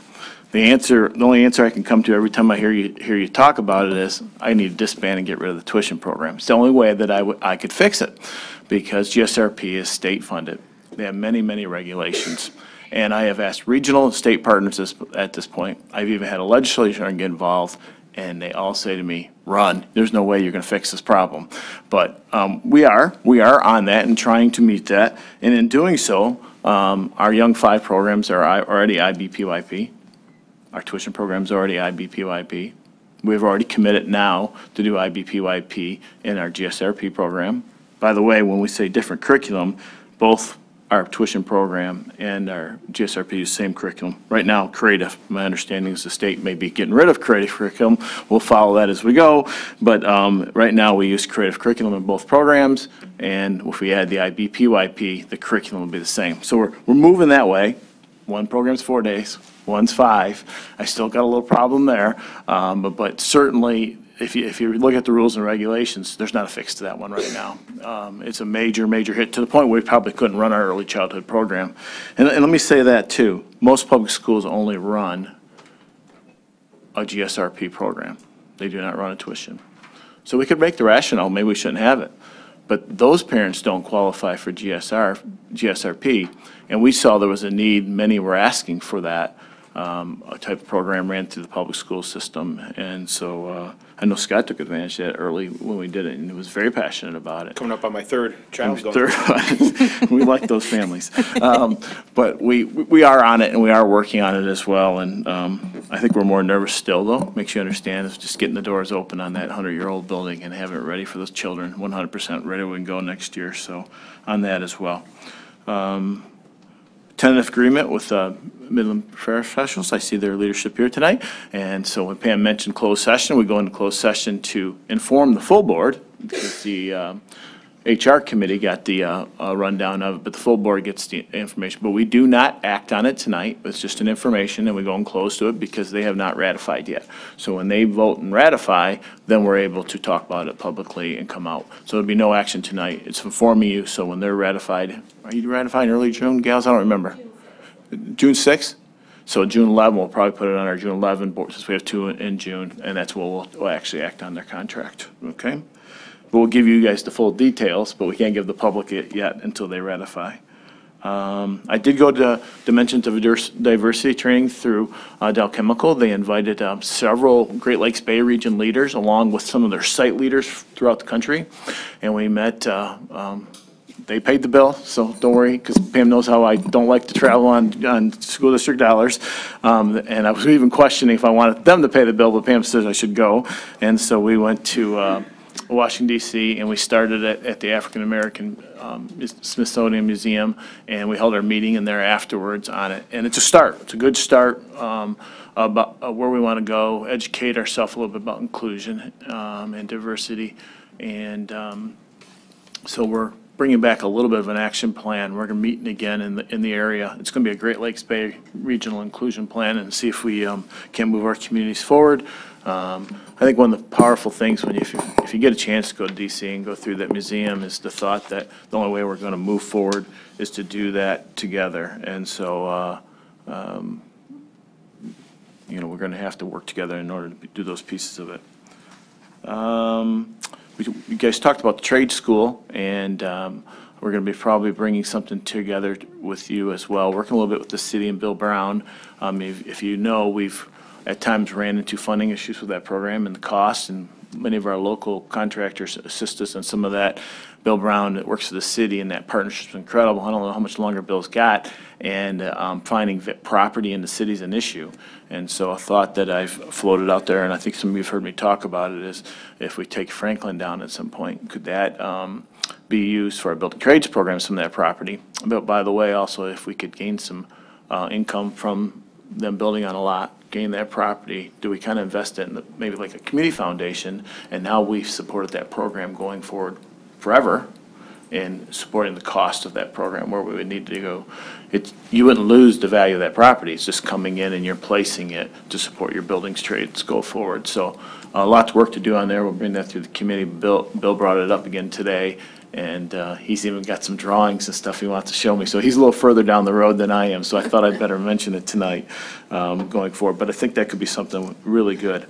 Uh, School safety and response training, and so if you, um, we had another incident last Friday, and thoughts and prayers out to Santa Fe, um, pretty close to me because I know exactly where that high school was after I spent 11 years down that area. Um, And so um, it just keep- keeps growing. And if you know, if you, we have le- legislation in Lansing to support what we believe um, are the right things, and a lot of organizations have signed on that. You you may have saw Scott Stevenson's um, letter to that or today, and um, supporting that legislation as well. So the sheriffs, the police association, social worker association, um, school board, superintendents, everyone's kind of signed on to this legislation. And it's a combination of everything we're talking about, from more need for school social work, more proactive approach to keeping kids healthy, um, but certainly also the hardening of the target and some of those things going forward. So um, one of the things I, I continue to propose to you is, we got to get an instant messaging system where we can alert our staff quickly um, We also need school resource, more school resource officers. Um, We know we have an enhancement millage renewal coming up. I think we should talk about that. And, and that enhancement millage continually about increasing um, those things, but we certainly need school resource, or um, social worker and those pieces of it, and we need to keep lobbying Lansing. You know, they had a little bit of a um, surplus to, in the last revenue, and so our push is um, to use that for the school safety legislation side of that as we go forward. Um, Staff lunch visits, you know, I've been doing those for a while, and so this year is, uh, moved it up to a fall and spring, been going very well, and I really enjoy out- those out talking to staff and having a good time there. Um, I bring to you, I remember uh, a few weeks ago that we lost our state superintendent, Brian Whiston, and there was no better champion for children than Brian Whiston. I happened to get to know Brian when he was a lobbyist many years ago for the education group, and um, then when he was a superintendent in Dearborn, and boy, it hits home when he's six days younger than I am, and he passes, and you go, whoa.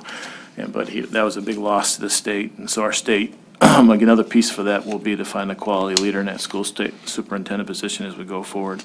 Open houses, um, at those schools, um, we'll advertise those. Uh, Mary asked about maybe getting them out to those residents who don't read our, um, newsletters, so we'll have to work on that, little- little bit of it, but, um, we'll have those in June as well. Graduation plans, um, today we, uh, got an update from Midland High. Uh, We're getting some from Dow High for you as well, for how, where you're going, because you're going to a new place. And so when we, basically when you get to um, Dow Diamond, we'll be meeting um, a little bit behind the stadium on the first base side, where you would come in like as a groundskeeper through there, and we'll be entering um, with the students, some who go to the stage will be going to the stage, and those who don't go to the stage will be going sitting with the uh, staff. And so, um, and keep praying for sunshine right now, looks real good, so let's keep it going that way. Um, Awards, congratulations to our teachers, we held it for the first time at our newly renovated Center Auditorium. I thought it went well. Um, Thank you, committee, for all the work they did to that. Um, And of course, that is just always a great event going forward. Pre-primary school, um, we're- we're kind of up and getting closer and closer in there. If you want to take a tour, let me know, we'll go take you in. Um, Flooring should be going in soon, colors and painting are there. Um, It's getting closer, you can start seeing the vision a little bit there. I think we Still got a lot of work, but we have a few months still to go on those pieces of it. Um, And back to that topic, one of the things that we are exploring, and Pam mentioned it well, Pam's been on this, by the way, for a long time. Dick Delinsky's been on this for a long time, and we just recently got turned down for dollars for scholarships. When I say we, it was a a county approach. Um, We got turned down on that, but we're, we're- we'll continue to seek scholarship funds where we could do that intertwining, if we get some scholarship funds, to do it that way, and so that wouldn't be a blocker to us doing it, I don't think, um, as well going forward with that. Um, Central Park won another design award, third for it, so, and it was very nice to see a very trying first year in Central Park and see that power of what we're doing right there tonight. You saw some of that, so I really was really impressed with that piece of it. Um, Educational leaders keep requesting to see um, Central Park. We've brought, I think, just about every superintendent in the world, uh, uh, universities through, and now we've brought Delta College leadership through it just recently, so very impressed by that. And I will close on that piece of it. Great, great, thank you. All right, now we will go into closed session, and when we come out, all we'll do is adjourn the meeting. So if you don't want to stick around, you don't have to, but if you want to come out and see me hammer down on the table, then you're more than welcome to. Can, can we sign? You guys need Do you need signatures, signatures? right? Oh, and if Yeah, you we'll need Can we get those signatures, first come Do on up. those now, yep. Thanks. It's okay.